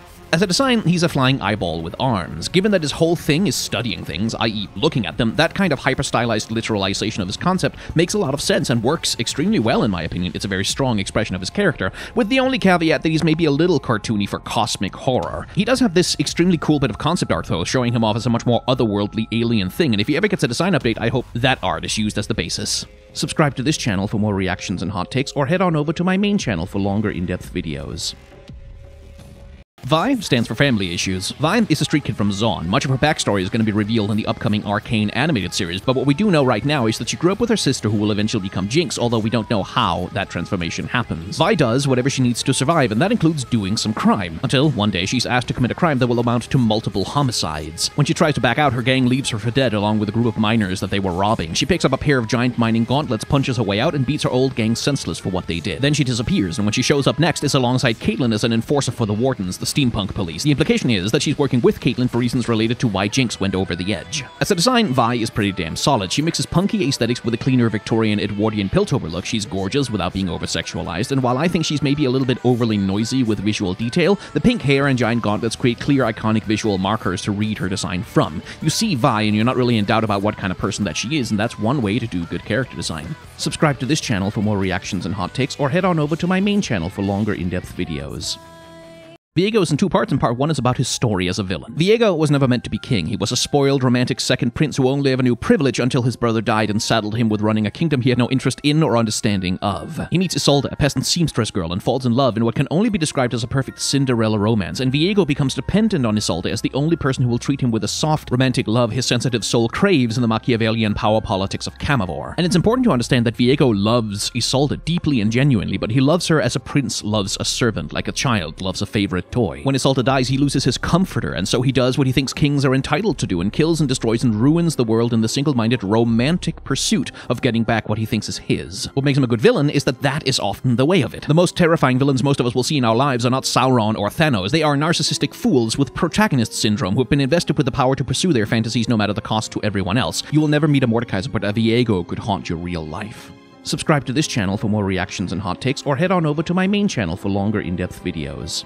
Viego's in two parts. Part two is about his character design. So, a pretty boy in leather pants and a crop top jacket, that's kind of an awkward fit for a Lich King, isn't it? But Viego isn't a Lich King. Well, he commands an army of the undead, but what he is is a broken-hearted self-obsessive, accidentally invested with the power to make his issues everyone else's problem. Hence the black mist that pours from his literally broken-hearted chest, which is the source of all his powers. Viego looks probably too modern for League of Legends, frankly, but the point of his ridiculously exaggerated pretty boy good looks are similar to the point of Evelynn's hypersexualized look. To show visually how someone could fall for him and be blind to all his red flags. He's a monster, yes, but he's a monster who loves you. In game, his ability to mind control enemies stands in for his narcissism and privileged entitlement over the lives of others. In his character design, his sex appeal stands in for the seductiveness that makes Isolde for him, and the charisma that makes people enable him, indulging his whims and wants until his ego becomes the end of the world. I do wish he looked less modern and more fantasy-like, and maybe a little bit more visually monstrous in contrast to his sexy good looks, but as a design, on his own terms, he works.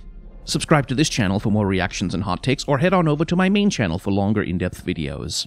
Okay, so Viktor has a very long and very involved lore, but TLDR, he's a scientist from Zaun who's obsessed with transhumanism. A, trans rights. Basically, he tried very hard to do science to stop people from suffering, but because people have feelings and stuff, they keep getting into more suffering, so he decided to get rid of all emotions, starting with himself. Turns out, though, that having emotions are also part of what gives you ethics and empathy, and now Viktor has decided that people are going to get turned into cyborgs pretty much whether they want it or not, because glorious evolution. His nemesis is Jace, sort of. They have the sort of hate-respect-hate relationship that's great for shipping, although Viktor at this point thinks himself above petty rivalries because beep boop robot brain, although reading between the lines, he seems to be wrong about that. As a design, Viktor is a bit underwhelming, like he's supposed to be this avatar of cyborg supremacy, but pretty much all he's got is like one extra armor glowing mask and a cyborg arm replacement. Urgot is more cyborg than he is, and he got put together in a cave with a box of scraps. Viktor remains visually far, far too ordinary a human for his story. If he's an extremist for his beliefs, it sure ain't showing. Give him a rework and show us that glorious evolution, Riot. Subscribe to this channel for more reactions and hot takes, or head on over to my main channel for longer in-depth videos. Ah, Vladimir is old and not just his crusty looking character model. He began life as an indentured servant to a Darkin during their dark reign and managed to learn enough of blood magic and arcane power not only to successfully slay his ascended master but to use the magic to renew his flesh over and over and persist for centuries into the founding of Noxus, where along with LeBlanc he became the leader of the Black Rose cult. He's less interested in the political machinations of the Rose though than he is in a Dorian Grey style ultra hedonistic vampire lifestyle, reveling in pleasure and butchery for a century or two before fading into history to be forgotten. For all the scheming that goes on around him, Vladimir is only ever out for himself. As a design, he is, I mean, look at him. My man looks like a depressed onion at a Renaissance fair. He has the affect of an eccentric aristocrat, sort of, in his outrageous outfit, but he ultimately just looks kind of silly. And not in a disarming way that would let him get close enough to suck your blood, just silly. His character model does him no favors, but broadly, I think he needs to be sleeked down and given a clear visual aesthetic direction rather than just shotgunning vaguely aristocratic looking details all over him with a trebuchet. Subscribe to this channel for more reactions and hot takes, or head on over to my main channel for longer in-depth videos. Volibear is one of the old gods of the Freljord, brother to Anivia and Ornn, and a crusty old survivalist boomer who wants you to know that in his day they went to slaughter their enemies in the snow, uphill both ways. He's the spirit of the storm, a blood-soaked rush of brutality and violence on two legs, who sees the Freljord, especially the Avarosans, attempting to transition to a more peaceful way of life as a betrayal of the spirit of the land. To Volibear, only strength and brutality gives you the right to survival, and he channels his divine power through spirit mediums to not only preach his cruelty, but enforce it with mind control. Such is the power of his command that even Sejuani, who was allied with him, has trouble resisting his call. He's He's responsible, among other things, for blinding Lissandra and murdering Ornn's followers, for which his brother will never forgive him. As a design, Volibear is an ode to keep it simple, stupid. He's a magic lightning bear, and that's exactly what he looks like, with some rune-studded braids, magic claws, and glowing eyes. His ability to sprout literal lightning rods from his back gives him the exact right amount of otherworldliness to make him look godlike, and his penchant for walking upright makes him exactly human enough to look sentient without making him look too much like a furry. I still think the Thousand Pierce Bear was a cooler concept, but oh well. Subscribe to this channel for more reactions and hot takes, or head on over to my main channel for longer in-depth videos. I just can't shake the feeling it's pronounced Warwick. Warwick is an ex-gangster who tried to put away the violence and seek a better life, but he had the misfortune of crossing paths with Singed. He doesn't know why or how it happened, but Singed used him as a test subject, carving, cutting, poisoning, and regenerating him over and over and over again until he died. Singed throws his corpse in a toxic swamp, but then the experiment works. Warwick revives and becomes fully the wolf monster Singed intended him to be. He craves blood and flesh, but driven by the guilty memories of his past, he kills only those who are already covered in the stench of blood, hoping instinctually that his hunts purge only the worst of Zaun's killers. Also, he's probably connected to Vine Jinx somehow, but we don't know how exactly. Surrogate dad, perhaps? Who can say? As a design, Warwick is slightly chimeric, incorporating a little bit of visual influence from other animals, but mostly he is a werewolf, and a pretty standard one at that. Put it next to a World of Warcraft Worgen, you'd be hard-pressed to tell a big difference. Warwick's big party trick are the chemical tanks on his back and the tubes flowing into his body, marking him out as a Frankenstein's monster werewolf, a science experiment and a victim of abuse, not merely a monster by nature. And it works, he's a solid design. The little twist of the chemical tanks makes him special, and I really like it. Subscribe to this channel for more reactions and hot takes, or head on over to my main channel for longer in-depth videos. Ah, Sun Wukong from Journey to the West, the character who's in every MOBA game. Wukong is an Ionian Vastaya, a prankster and a kind of a little by nature. He managed to get himself alienated from his tribe, the Shimon, with his constant crying wolf games. When Noxus invades Ionia, however, Wukong is humbled by the scale of destruction and seeks out the village of Wuju to learn their fighting skills so he can defend his home. But the Wuju masters are all dead to Noxian chemical weapons, and only Master Yi remains, and he won't take students. Wukong is persistent, though, showing up every day to challenge the master, and eventually his irascible personality and undeniable potential wins out over Yi's self-imposed exile, as Yi realizes that all Wukong really wants is chance to save his home, the one thing Yi was never able to do. Now they're student and master traveling Ionia to defend it from injustice wherever they may find it. As a design, Wukong is, well, he's a version of the Monkey King from Journey to the West. His design pretty much fully ignores his lore and Runeterra as a whole, and focuses on making a cool MOBA version of the Monkey King, which, eh, you know. Personally, I think he looks way too bulky and clunky for his agile monkey trickster concept, and his design lacks any sense of playfulness. He could really use a sleeker and more mischievous redesign. Subscribe to this channel for more reactions and hot takes, or head on over to my main channel for longer in-depth videos. Can't have one without the other, so Cyan Rakan is a two-parter. This is the lore. Cyan Rakan are Lhotlan, bird Vastaya from a group of Vastayan tribes for whom the wild magic of Ionia is particularly important to their survival. Humans encroach on their lands, offering treaties to preserve the flow of magic despite their settlements, and then humans break those treaties when their need for expansion overcomes their fidelity to pacts and agreements. The wild and free magic of Ionia is thus dammed and enclosed, driving the Vastaya out of their ancestral lands and killing their culture. Thank God League of Legends is not a political game where you might think this story is trying to say something. Rakan responds to this by aggressively asserting his culture. He's a bard, a poet, a battle dancer, stubbornly determined that coexistence must be possible. Then he meets Xayah, the first of a thousand men and women not to fall for his charms. Xayah is a militant, and as far as she's concerned, the magical desertification of Ionia caused by humans is an existential threat that must be met with force. In Rakan, she finds a partner who can support her and also push back against her most murderous impulses. In Xayah, Rakan finds someone who can give him a mission and a way to save his people through action. They're two halves of a whole, literal love birds. So in love that it's almost disgusting, but you look at them and you can see why. Subscribe to this channel for more reactions and hot takes, or head on over to my main channel for longer in-depth videos. Can't have one without the other, so Cyan Rakana is a two-parter. This is the character design. Cyan Rakana love birds, quite literally. Based in part on Birds of Paradise, a set of species within which the males put on incredibly elaborate displays of color and choreography, while the females are typically more drab and restrained and highly critical of their mates' performances. And in parts, this works really, really, really well. Rakan is the loud, hyper-confident, oversexed himbo, throwing his bright colors around, and Xayah is the dour, downbeat precision killer with darker colors and much less flash. In other ways, it works a lot less well. They're designed to be complementary opposites, night and day, yin and yang, but both of them are hot humans in bird cosplay. This is fine for Rakan, the charmer, the human-facing hot himbo dime piece, but then Xayah, his opposite, is also a hot human? She's an attractive, skinny, almost entirely human girl with Ahri face, and given that her whole thing is rejection of humanity, it's counterproductive to me that her design doesn't take advantage of the fact that the Vastaya can be full furries and make her more animalistic, both to make her a greater, more explicit contrast to Rakan and to alienate her from humanity a little bit to reflect her story. I think it's silly that League of Legends invented a whole race of furries only to make so many of its champions just humans with animal ears.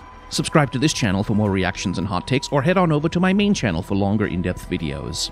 Xerath is in two parts, starting with the lore. When the slave Xerath was a boy, his father was crippled during the construction of a monument to the Emperor's favorite horse. He was left in the sands to die slowly and in agonizing pain. Xerath's mother, in desperation, got Xerath taken on by an architect to save him from a similar fate. Xerath eventually meets Azir, last prince of the Imperial line, and an unlikely friendship blooms. Xerath becomes Azir's personal slave, saves his life, and with Azir's promise that when he's emperor, the slaves shall be free, ringing in his ears, Xerath learns dark magic to kill any pretenders to the throne in the womb of the queen before they can be born. When all else fails, he murders the queen and emperor himself in desperation, all to ensure Azir's rise to power. When When then refuses to fulfill his promise and frees Xerath, whatever faith he had left in the Empire dies, and he steals the magic of Ascension as a last-ditch effort to finally seize his freedom. He succeeds, but causes a massive magical accident and is sealed away for a thousand years by Nasus and Renekton. Now freed, he has become fully corrupted and driven mad by power, determined to build a new empire with himself on the throne. Thank God League of Legends isn't a political game, I might have some choice words to say about portraying violent resistance by slaves against their enslavement as morally corruptive or somehow a worse danger than the enslavement they resist. Subscribe to this channel for more reactions and hot takes, or head on over to my main channel for longer in-depth videos.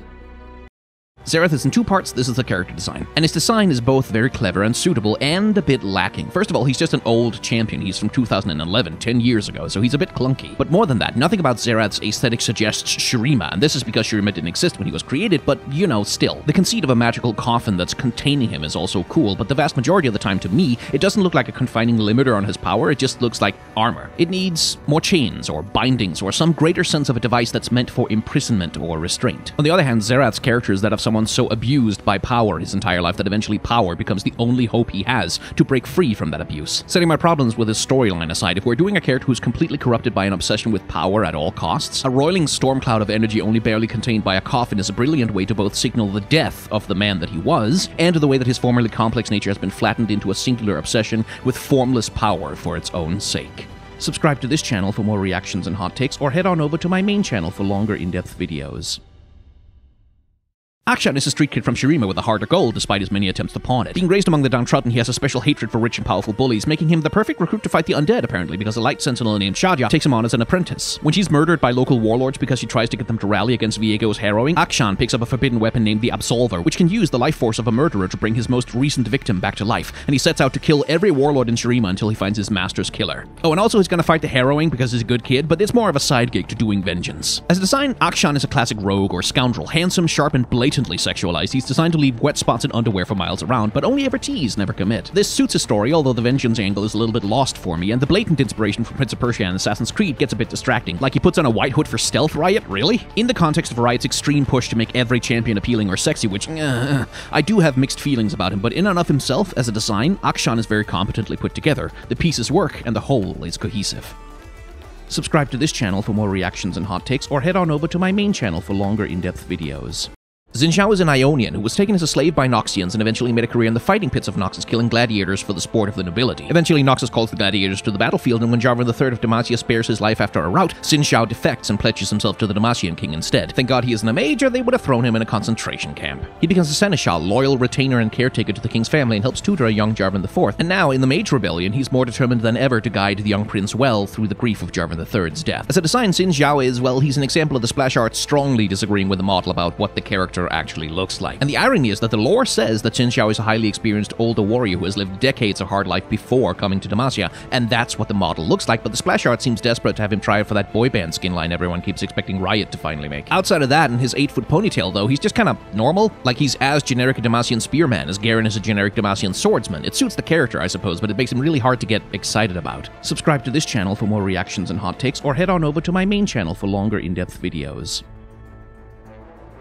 Yasuo has a ton of complicated lore, but the really important bits you need to know are the following. He's the younger brother of Yone an impatient hothead who was assigned to guard a revered master. He decided to f off and fight Noxus instead, but when he came back, the master was dead and he was blamed for the crime. He fled to prove his innocence, but his brother Yone pursued him and Yasuo had to kill him. The guilt of that killing has haunted Yasuo his entire life, and even being cleared of the revered master's death has not stopped it haunting him. Even Yone coming back to life hasn't actually stopped it haunting him. Yasuo is eternally the unforgiven, because he refuses to forgive himself, and so he wanders the world forever, looking for peace that will only ever come from within. Or maybe he could try talking to his brother for more than like two consecutive voice lines. I don't know, I'm just throwing it out there, Riot. As a design, he's a solid mishmash of Ronin archetypes, inspired by Japanese history especially. His wild hair and scruffy appearance sells the idea of a shabby wanderer, but his elaborate shoulder guard and sword marks him out as more than just another faithless wandering drunk. His shirtlessness is maybe a little pandering both to sexual and to power fantasies, but it's not blatant, and it does serve to sell him as a bit of a wild man character. Personally, I think Yasuo kinda rules. Subscribe to this channel for more reactions and hot takes, or head on over to my main channel for longer in-depth videos.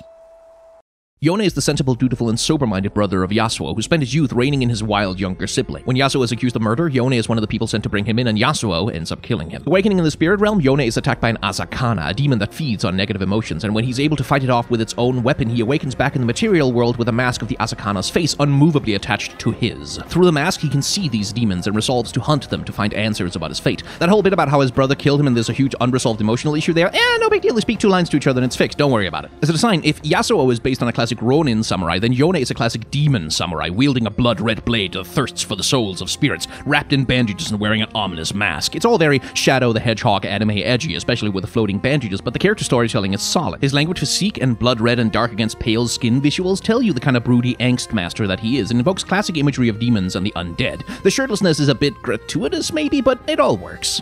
Subscribe to this channel for more reactions and hot takes, or head on over to my main channel for longer in depth videos.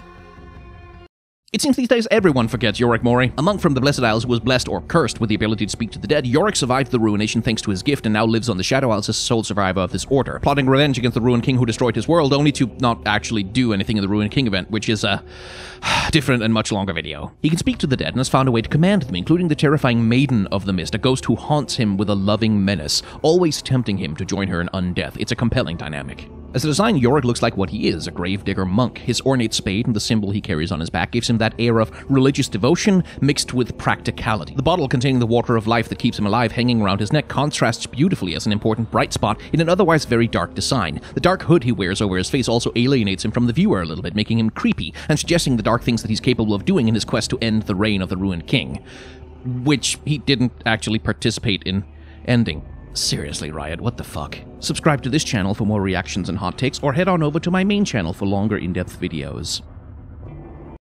Yuumi is excellent, you're just salty she made you die to someone as lame as Garen. Yuumi is a cat, a magical cat, the familiar of a Yordle sorceress named Norra, with whom she lived a happy and peaceful life on the outskirts of Bandle City. Uncomplicated happiness is not allowed in League of Legends, though, and so one day Norra goes missing, having jumped through a series of magical portals in her magical Book of Thresholds. The book is sentient and tells Yuumi that Norra has gone somewhere so perilous that she destroyed the portal behind her out of caution. Well, Yuumi needs her snacks and cuddles, so this won't do, and she and the book sets out through the portals looking for their beloved missing master. As a design, Yuumi and Book are a cat and a book. There are little touches, like Yuumi's golden whiskers and head-mounted gem, and Book's elaborate I'm a magical fantasy book decorations and embellishments that ensure you're never going to mistake them for an ordinary cat and book. They are classic fantasy features in a novel combination, and while it isn't transcendently brilliant, it just works really well. Yuumi is entirely designed around kitty cat adorableness. There's not a hint of edge or darkness anywhere in her, and I defy anyone to watch her interactions with Book and not immediately adore their friendship dynamic. She doesn't count as a monster champion, Riot, but I'm glad you made her.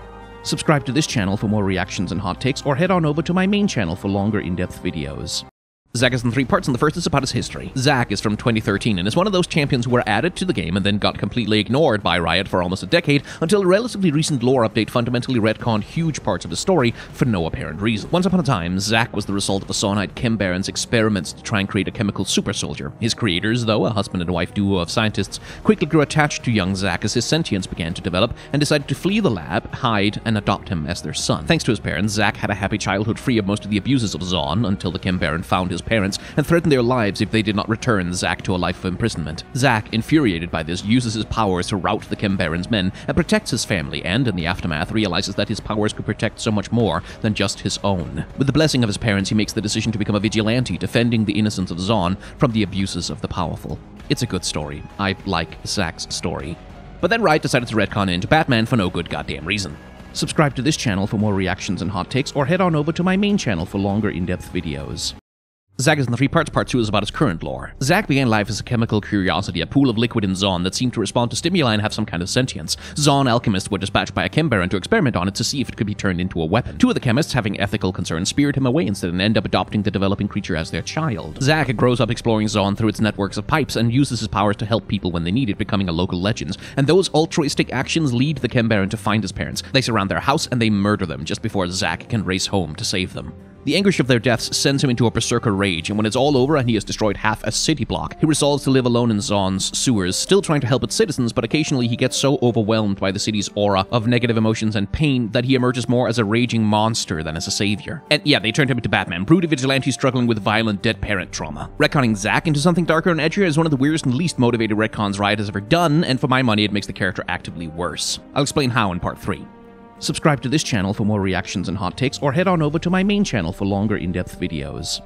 Zac is in three parts. Part three is about his design. Zac is a slime. He's a big goopy slime monster with a scary monster face. On top of that, he's visibly buff, which, you know, he's a slime monster. He doesn't have muscles, but he's intentionally made to look muscular to make him look stronger and more intimidating. And frankly, his design is not much to write home about. He's just a big evil slime monster with no bells and whistles. Who cares, right? Except Zac is essentially the reverse of Hans from Frozen. His design is clever because he's a handsome Disney prince who turns out to be a sociopathic villain. And Zac looks like a big scary monster, but he's actually a kind, gentle, playful, and friendly himbo who just wants to make friends and make people happy. That intentional massive disconnect between his design the story is the point of him, and it elevates his generic design to give it some pathos. Big scary monster man who's secretly gentle and just wants friends is a compelling archetype, which makes it so baffling to me that Riot decided to Batman retcon him into a sewer-dwelling vigilante ticking time bomb that absorbs the pain and suffering of Zaun emotionally, and sometimes explodes in uncontrollable rage. It completely undoes the gap appeal of his original conception in order to make him just another angry edgelord with a revenge plot. Zac was unique, and Riot, for no reason, decided to make him less interesting. Subscribe to this channel for more reactions and hot takes, or head on over to my main channel for longer in-depth videos. Yeah, no, sorry, but Zed's story can't be covered in just one short, so it's another three-parter. Zed is a poor kid from Ionia who worked as a lowly servant at the Kinkou Monastery until one day Master Kusho decides to teach his son Shen a lesson by telling him to beat the crap out of poor Zed until Zed finds an opening and lands a hit. Zed is taken in by Kusho and raised as an apprentice alongside Shen, and the two become close. Closer than friends, closer than brothers. In case you're wondering, yes, a queer reading of their relationship is extremely valid, actually. Then, in their apprenticeship, Jhin begins his gruesome murder spree, and the trauma of investigating his killings begins to drive a wedge between the two friends. Shen adopts his father's religious detachment to cope, while Zed becomes ever more driven by a desire for preventative action. That wedge is then fully exploded when Noxus invades. Shen and Kusho favor traditional dispassionate peace, but Zed demands action, and in desperation, he obtains forbidden shadow magic and kills Kusho, rallying much of the Kinkou and many Ionians to his new Order of Shadows, hoping to save Ionia from Noxian domination and build a new tradition of interventionism from the ashes of the Kinkou. Or at least that used to be a story. There's a twist in part two. Subscribe to this channel for more reactions and hot takes, or head on over to my main channel for longer in-depth videos. Zed is in three parts. Part two is about the big twist in his story. So, as the Zed comic Riot published with Marvel reveals, we only know half the story of Zed's fall to the shadows. The aftermath of Jhin's grisly serial killing drives a wedge not only between Shen and Zed, but between Master Kusho and his ideals. He suggests that Zed take up the forbidden shadow magic and pretend to murder him, so Kusho can control the Navori Brotherhood in secret and defend the nation without staining the honor of the Kinkou. Fast forward a decade, and Kusho has become far too used to power. He releases Jin to sow terror and frighten the population into uniting under his banner, and wildly abuses the power of shadow magic. Zed tries to manipulate Shen into discovering his father's betrayal, but when that fails and Shen kicks his ass, he returns to the Navori Brotherhood and kills Kusho himself, finally committing the crime that Shen always blamed him for. Personally, I think it kind of sucks that Zed's agency in his own story got reduced to League of Legends Palpatine made me do it, rather than being driven by his own decisions, but at least we got tons of Shen and Zed getting angsty over how much they care for each other. We'll talk design in part 3. Subscribe to this channel for more reactions and hot takes, or head on over to my main channel for longer in-depth videos. Zed is a three-parter, and we finish up with the design. So, who likes Teenage Mutant Ninja Turtles? While it may be League of Legends Anakin in the story, Zed's design owes a lot more to the Shredder, with his elaborate grey armor, spikes, and ominous red-eyed metal mask. Yes, he's created to embody an archetype and not to challenge it, and the archetype here is Evil Ninja Master. So, where Shen broadly has more gentle curves and a bulkier, more rounded armor, Zed is all about the spikes and sharp edges. They also contrast each other in a classic red Oni, blue Oni duality, with Zed's reds denoting both his more passionate personality and the bloody violence he prefers. When unmasked, and I honestly still kind of wish Riot never unmasked him, he has a bit of that classic anime boy prettiness with white hair, dark rimmed eyes, and orange irises. Or at least he does when he's not drawn in the overhatched style of a Marvel comic. While he's hardly skinny, he is, out of game at least, a bit more wiry than Shen, the twunk to his hunk, if you will. Zed doesn't reinvent the wheel of the evil ninja master by any means, but especially in context with Shen, he's a brilliant bit of contrast work to his boyfriend, I mean his best friend. Subscribe to this channel for more reactions and hot takes, or head on over to my main channel for longer in-depth videos. Ziggs is a Yordle who loves explosions, and I could kind of end the short right there because there's not that much more to him. Except, of course, that one time when he was canonically dating Jinx for a weekend. Ziggs, like his fellow chaotic Yordle Rumble, has never had his lore properly updated, and so his story is thin on the ground. He's a Yordle who's obsessed with making things explode, and while theoretically he used to run an inventor's shop business with Heimerdinger, I personally question how canon that story is anymore, given the wild inconsistency with which Yordles and their place in Piltover is portrayed. Are they cryptids or not, Riot? It's past time you clarified. Anyway, as a design, Ziggs is pretty simple, as Yordles with their squat bodies often have to be. His primary design features are his goggles, his enormous Cheshire Cat grin denoting his manic and chaotic nature, and the giant cheerful red bombs he carries with him. And while I appreciate that the guy is actually wearing something that at least looks like a sensible protective armored blast suit given how he throws explosives around, the primary storytelling of his design is that Ziggs is a Yordle who loves explosions, which, to be fair, is exactly what it needs to be. Subscribe to this channel for more reactions and hot takes, or head on over to my main channel for longer in-depth videos. Mundo is a terrible, dark tragedy, a good man done wrong by an evil social order, suffering a cruel fate that speaks heavily of man's inhumanity to man. And he's also a hilarious, silly cartoon clown character, a bizarro doctor who says funny lines about doing medicine wrong in a comedy way. what a big silly! Yeah, I'm saying this champion has tone problems. Mundo was once a kind of dim-witted, decent man making his way in Zaun the only way a big man with few prospects can as an enforcer for a Zaun Chem Baron. After making one too many mistakes, the Baron, in a show of spectacular cruelty, has him forcibly committed to an asylum where he's is gruesomely experimented upon and tortured. Which of course makes him go cartoon comedy crazy. This tone problem persists in his design, which on the one hand tries to be cartoonish and whimsical, on the other hand has him running around in a torn straitjacket with horrible biological experimentation pods sticking out of him, and then also on top of that tries to make him a big hot sexy hunk man. In my opinion, the Mundo update suffers from a catastrophic lack of clear direction. It tried to be everything to everyone and ended up being a highly polished, well animated mess.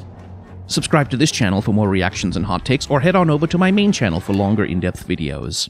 Zilean, you are old. You are so, so old. One of the earliest champions added to the game, time has not been kind to the Chrono Keeper, although his story has held up surprisingly well. Zilean is one of the last living Icathians. A master of time magic, he saw the tidal wave of the void unmaking Icathia before him and evacuated as many people as he could into his wizard's tower, and then he cast a spell to remove it from time altogether. Now trapped outside of time, Zilean has spent unknowable eons with the other Icathian survivors, studying the flow of time to find a way to undo what happened to Icathia and protect the world from the void, but despite sifting through millions of timelines, he's yet to find even one that leads to salvation. As a design, Zilean is terrible, a clunky, mal-designed mess with onion hair and a steampunk cuckoo clock on his back. He looks less a revered wizard and more like a rejected puppet from a TV show that teaches children to tell time. Legends of Runeterra, of course, has updated him quite excellently, giving him wizardly dignity and updating his clock mechanism to a properly mystical and Shuriman design. In-game in League of Legends, though, he's a reminder that Riot has always had trouble doing proper maintenance on their roster. Subscribe to this channel for more reactions and hot takes, or head on over to my main channel for longer in-depth videos.